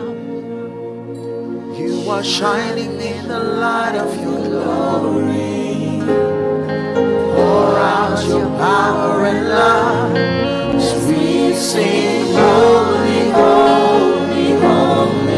We'll see you high and lifted up. Shining in the light of your glory. Pour out your power and love as we sing, Holy, Holy, Holy. Hallelujah. Now let me pray for you. My first prayer tonight is for those who are directly called into the fivefold ministry. Listen, we need to trust God to eradicate weakness on the pulpit. I submit to you there is a lot of powerlessness on the pulpit. I'm not talking of Pentecostal jamboree and gibberish. Authentic spiritual power that sustains the ability to both bless and lift people to the place of destiny. You cannot be an effective man of God and lack the requisite level of spiritual power. It is impossible. So my prayer, there are many people here, I know and I presume, that have been called into the ministry. God has called you, men and women alike, missionaries, pastors, prophets, and yet that increasing. Luke 1, I believe, and verse 45, I hope I'm right on that. He said, How shall these things be seen that I know not a man? And then he says, The power of the highest shall overshadow you. How shall I suddenly step into an effective ministry? The power of the highest. How shall I now begin to teach with power and fire? The power of the highest will overshadow you. Do not downplay the ministry of power, especially in this end time. Can I pray for you? You are in ministry, I'd like you to pray and say, Lord, empower me in a very supernatural way. Empower me in a very supernatural way.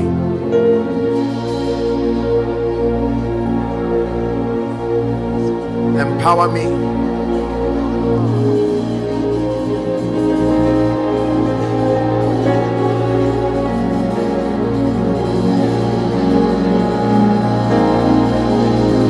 Hallelujah going to pray for people. This please tap this gentleman for me. Come. I want to pray for you.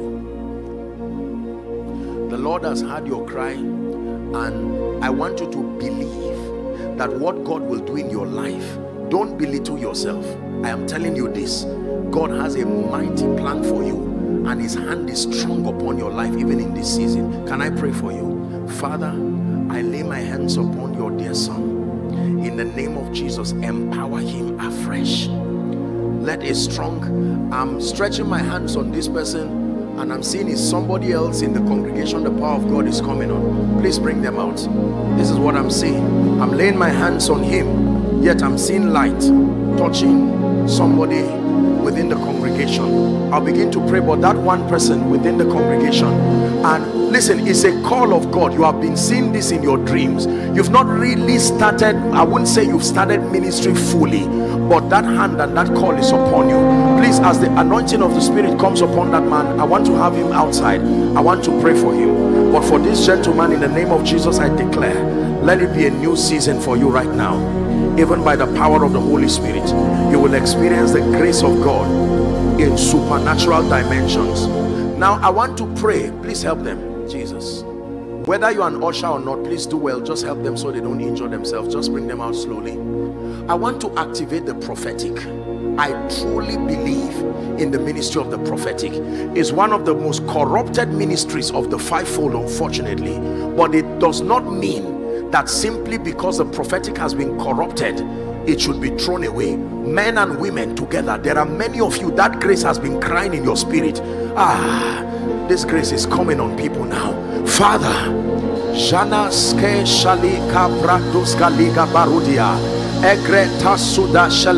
Paraduzia i release that grace right now. I fan the ambers of the prophetic.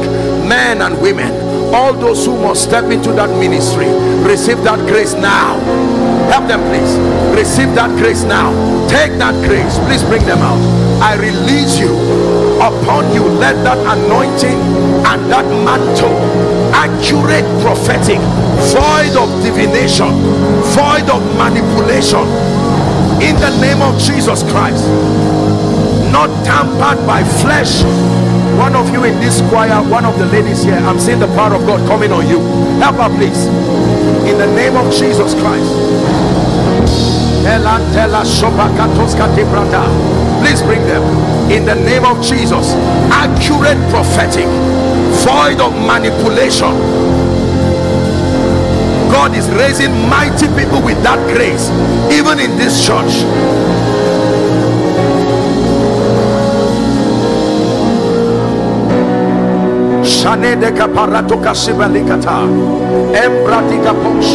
There is a gentleman who will start running now. Please hold him and bring him out. The power of God is coming upon him. This is this is a ministerial anointing. Is helping, please. A strong ministerial anointing. There are kings. There are kingdoms.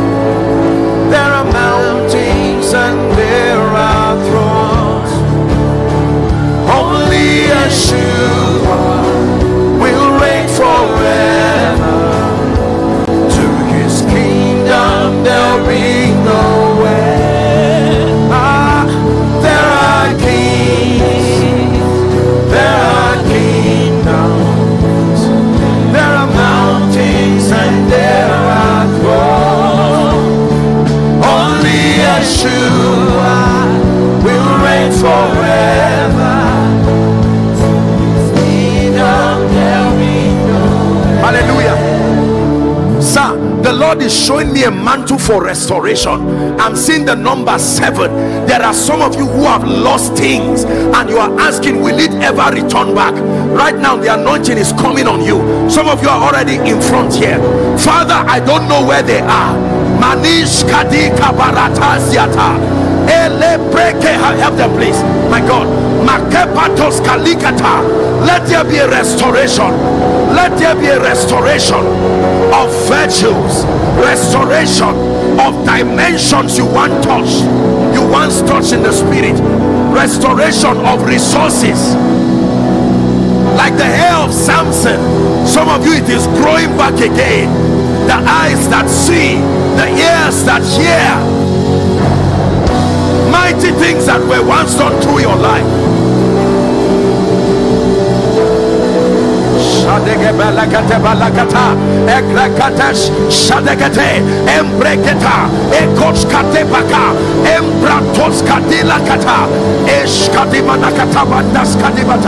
In the name of Jesus, supernatural restoration. I release upon you. I release upon your family.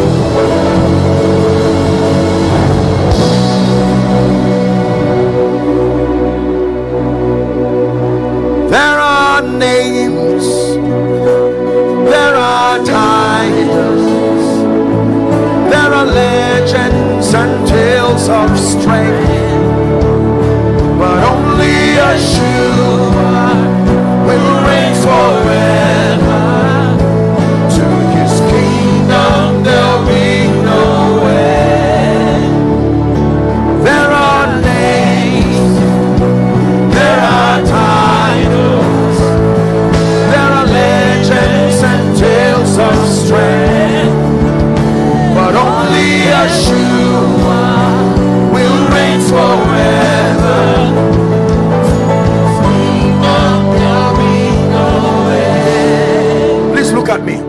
How many of you believe there is actually a grace for wealth?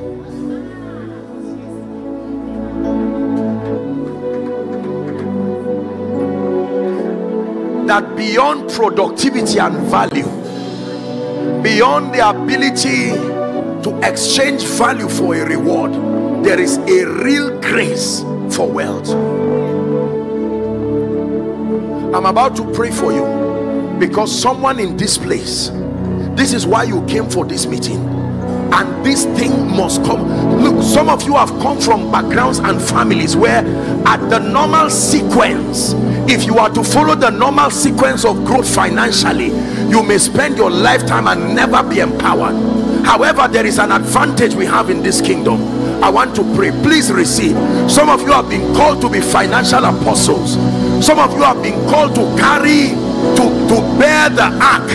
Lord i don't know where they are but in the name of jesus by your mercy those who will go up the mountain at the count of three may this mantle fall on you. Some of you are pastors. Some of you are career people. Lord the grace that will command territories to yield their increase. Receive it right now at the count of three. One two three. Take that grace. Take that grace. Take that grace. That anointing. Sir that grace is coming on your wife. I'm seeing that grace come on her. Lord i don't know what you are doing but do it oh god. Let let that supernatural mantle for finances supernatural grace for wealth in the name of jesus. Help this woman. I'm seeing oil this woman wearing yellow. That oil is resting upon her. Receive that grace right now by the power of the holy spirit.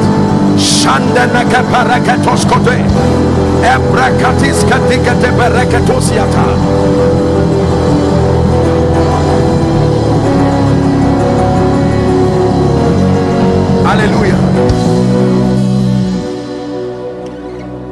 i want you to believe this because you will be surprised to see what god begins to do in your life.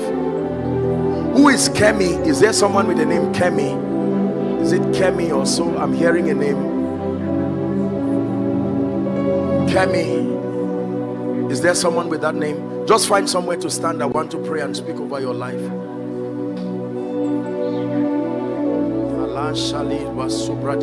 What do you do madam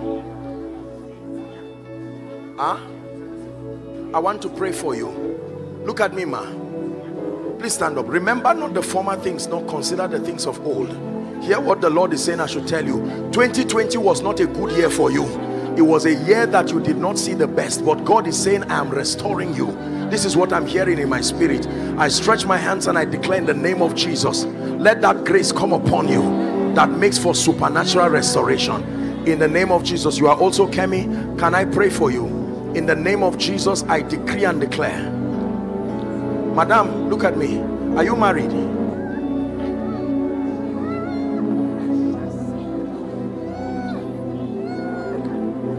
Father in the name of jesus every pattern negative pattern connected to your family in the name of jesus i come against it right now by the power of the holy spirit. In the name of jesus christ in the name of jesus christ. I'm seeing someone on this row. The power of god is coming upon you. You are a lady. I just saw this right now. Please i'd like you to bring the person for me.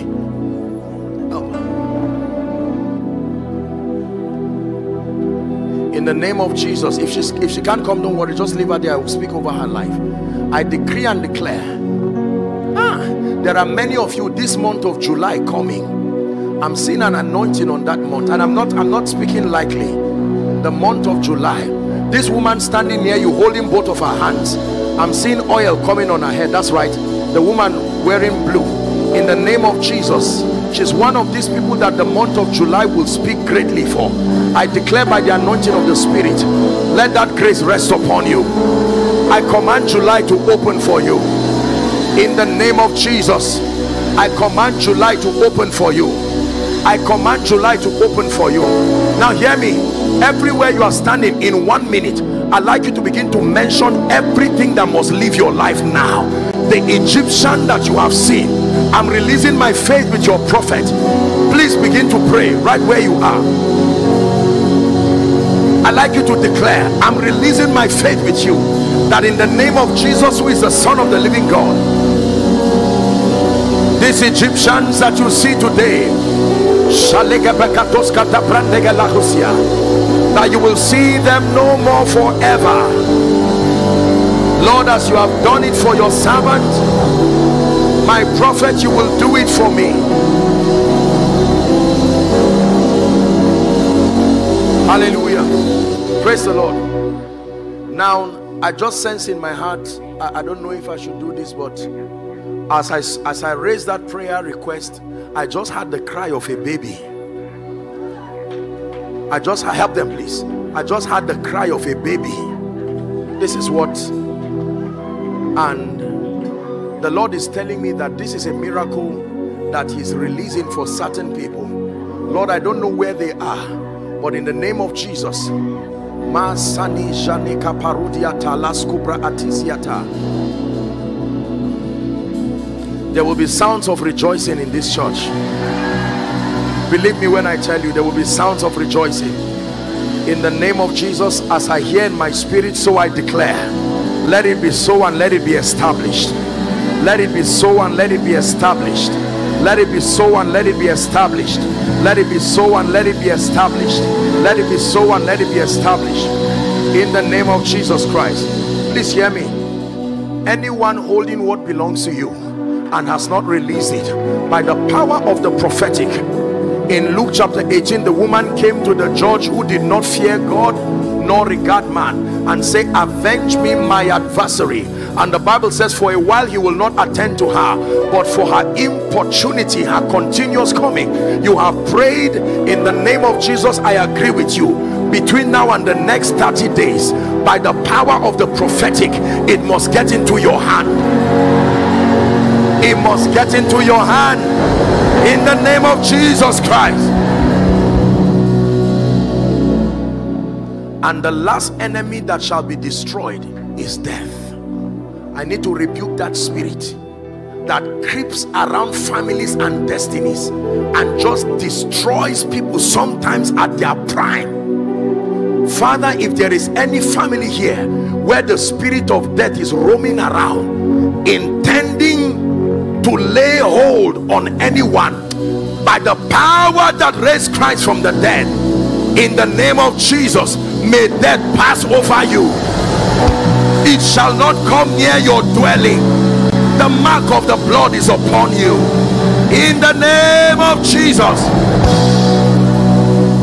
Hear me. Please be sensitive to these prophetic words as i'm declaring them. Some of you have been in this city for many years yet the gates have not opened for you. The truth is almost nothing is working. You are in this city. People will come and receive whether jobs open doors and it looks like nothing is happening. The Lord put this in the heart of your man of God and I've come to join faith with him. Let's speak to these gates every gate can open. It depends on who is speaking. In the name of Jesus I decree and declare as touching the one who sent us lift up your heads all ye gates and be ye lifted all ye ancient doors. I decree and declare the two lift gates of this city. I declare that you part hither and thither in the name of Jesus Christ be open for a triumphant entry. In the name of Jesus Christ.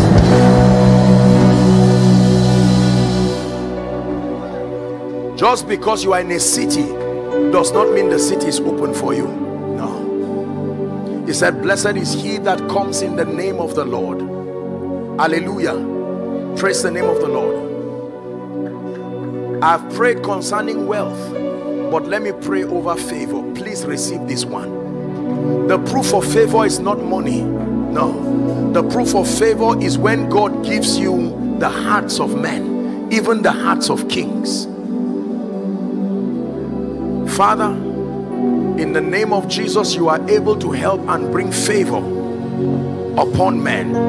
I declare by the mercies of God the one who helps men beginning from today all who are connected to this vision help her please. And those who in the name of Jesus Christ are here who came for this prayer cruise and those who are connecting by way of internet in the name of Jesus the son of the living God receive that grace for favor now.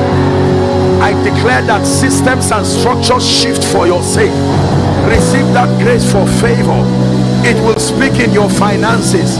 It will speak in your family in the name of Jesus Christ. Now hear me. We're getting to a most important part of this prayer we're wrapping up. How many of you believe in this vision? How many of you believe in this ministry? How many of you know that God is able to stretch and enlarge the tent of this ministry? We are going to pray. The last time I came God opened my eyes and I did bring a prophetic word that God is expanding and enlarging this ministry and that God was going to give his servant and the wife visibility even within this land like never before. I have not come with a different prophetic word. It is still the same thing I have come with. We are going to pray. Listen let me tell you. God has placed an anointing upon this man. God has placed a grace upon this man. And there is a major role. I am telling you that the man of God has to play in this city as touching the move of God and what God is doing. It's not because I'm standing on this platform. I am telling you the truth by the message of God. Now, in the next two to three minutes, you are going to pray for this ministry from the depth of your heart, the depth of your spirit. Lord, higher grounds. Lord, higher grounds. Lord, higher grounds. Enlarge the place of the of, of your dwelling. Spare not to the left and to the right. Are you praying? The members of this church pray. Pray for your vision. It is not your pastor's vision, it is your vision too.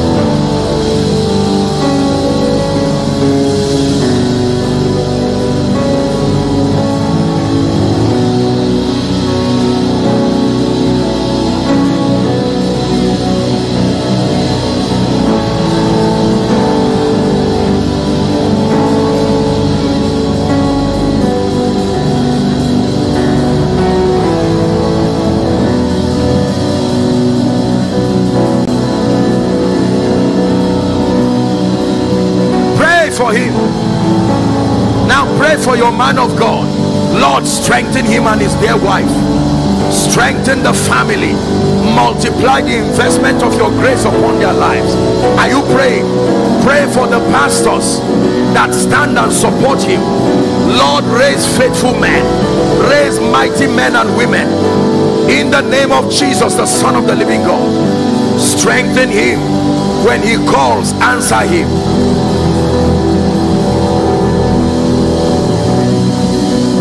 Hallelujah. Hallelujah.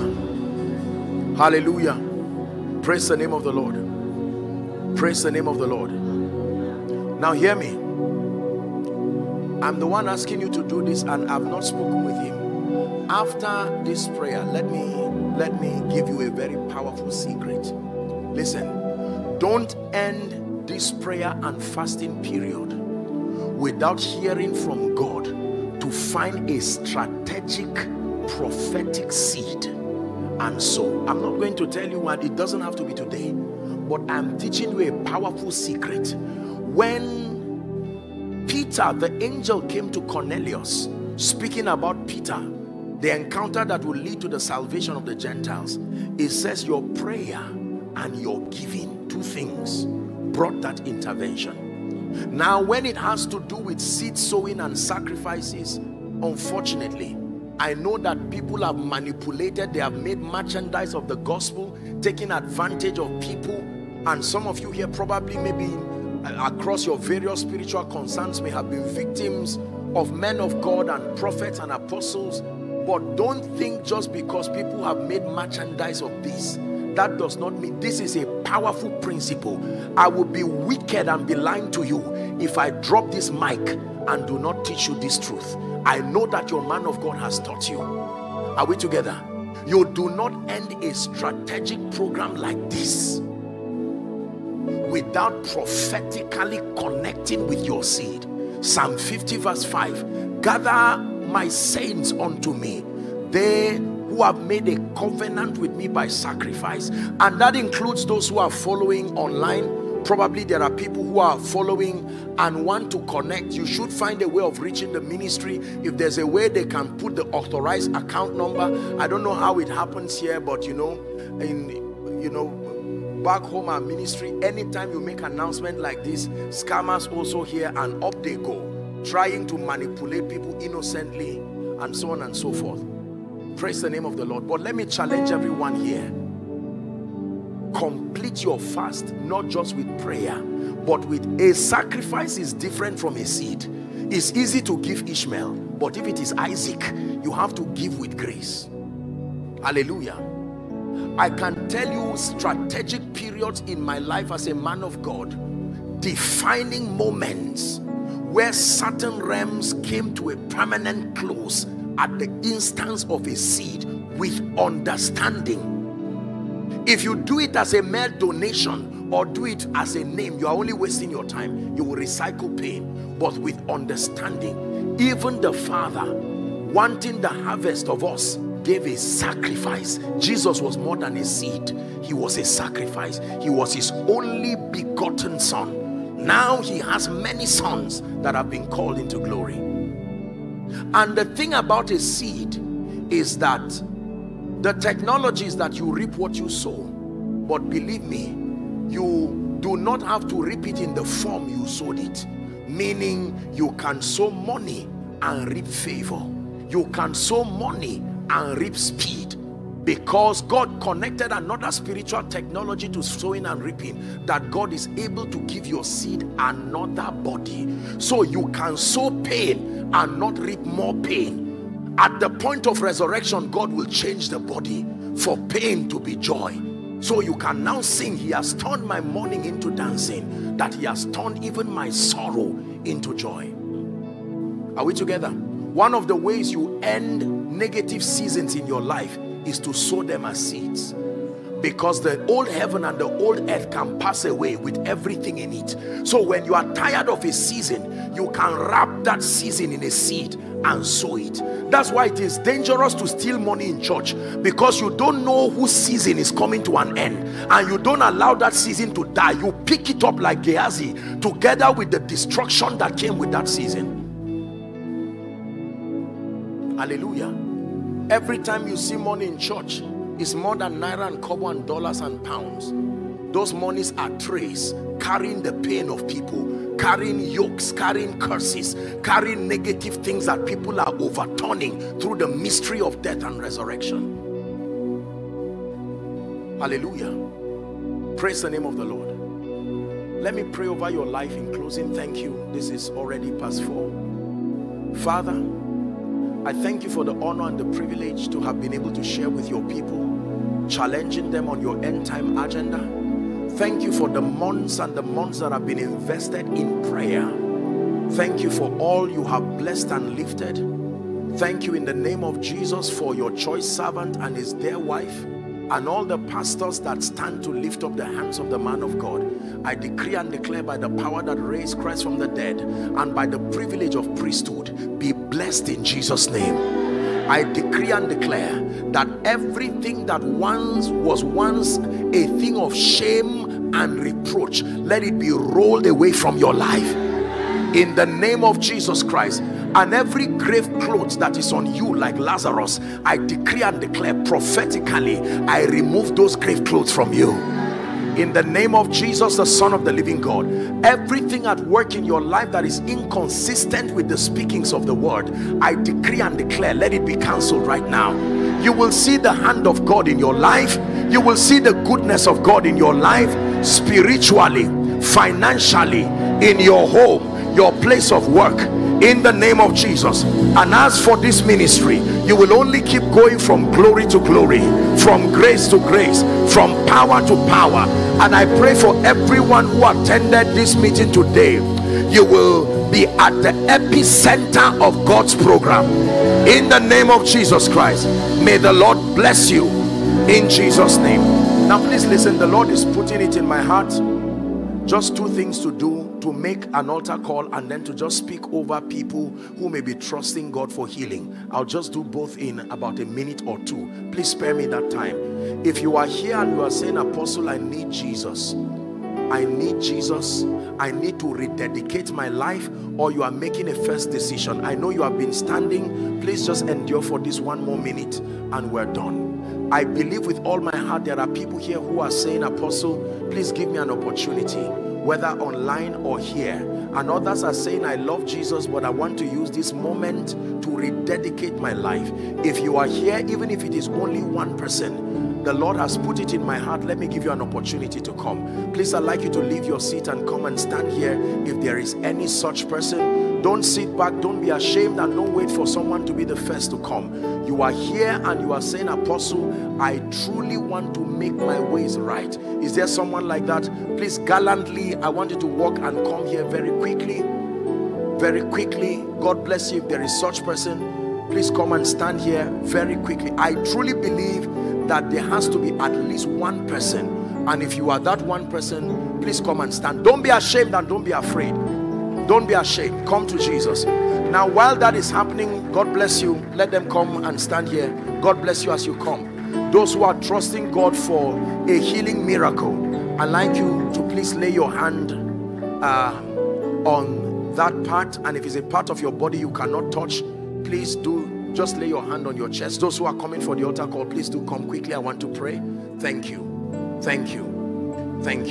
Thank you for watching our entire video today. If you feel you can bless someone, please join us and spread the gospel by sharing this video on your social media.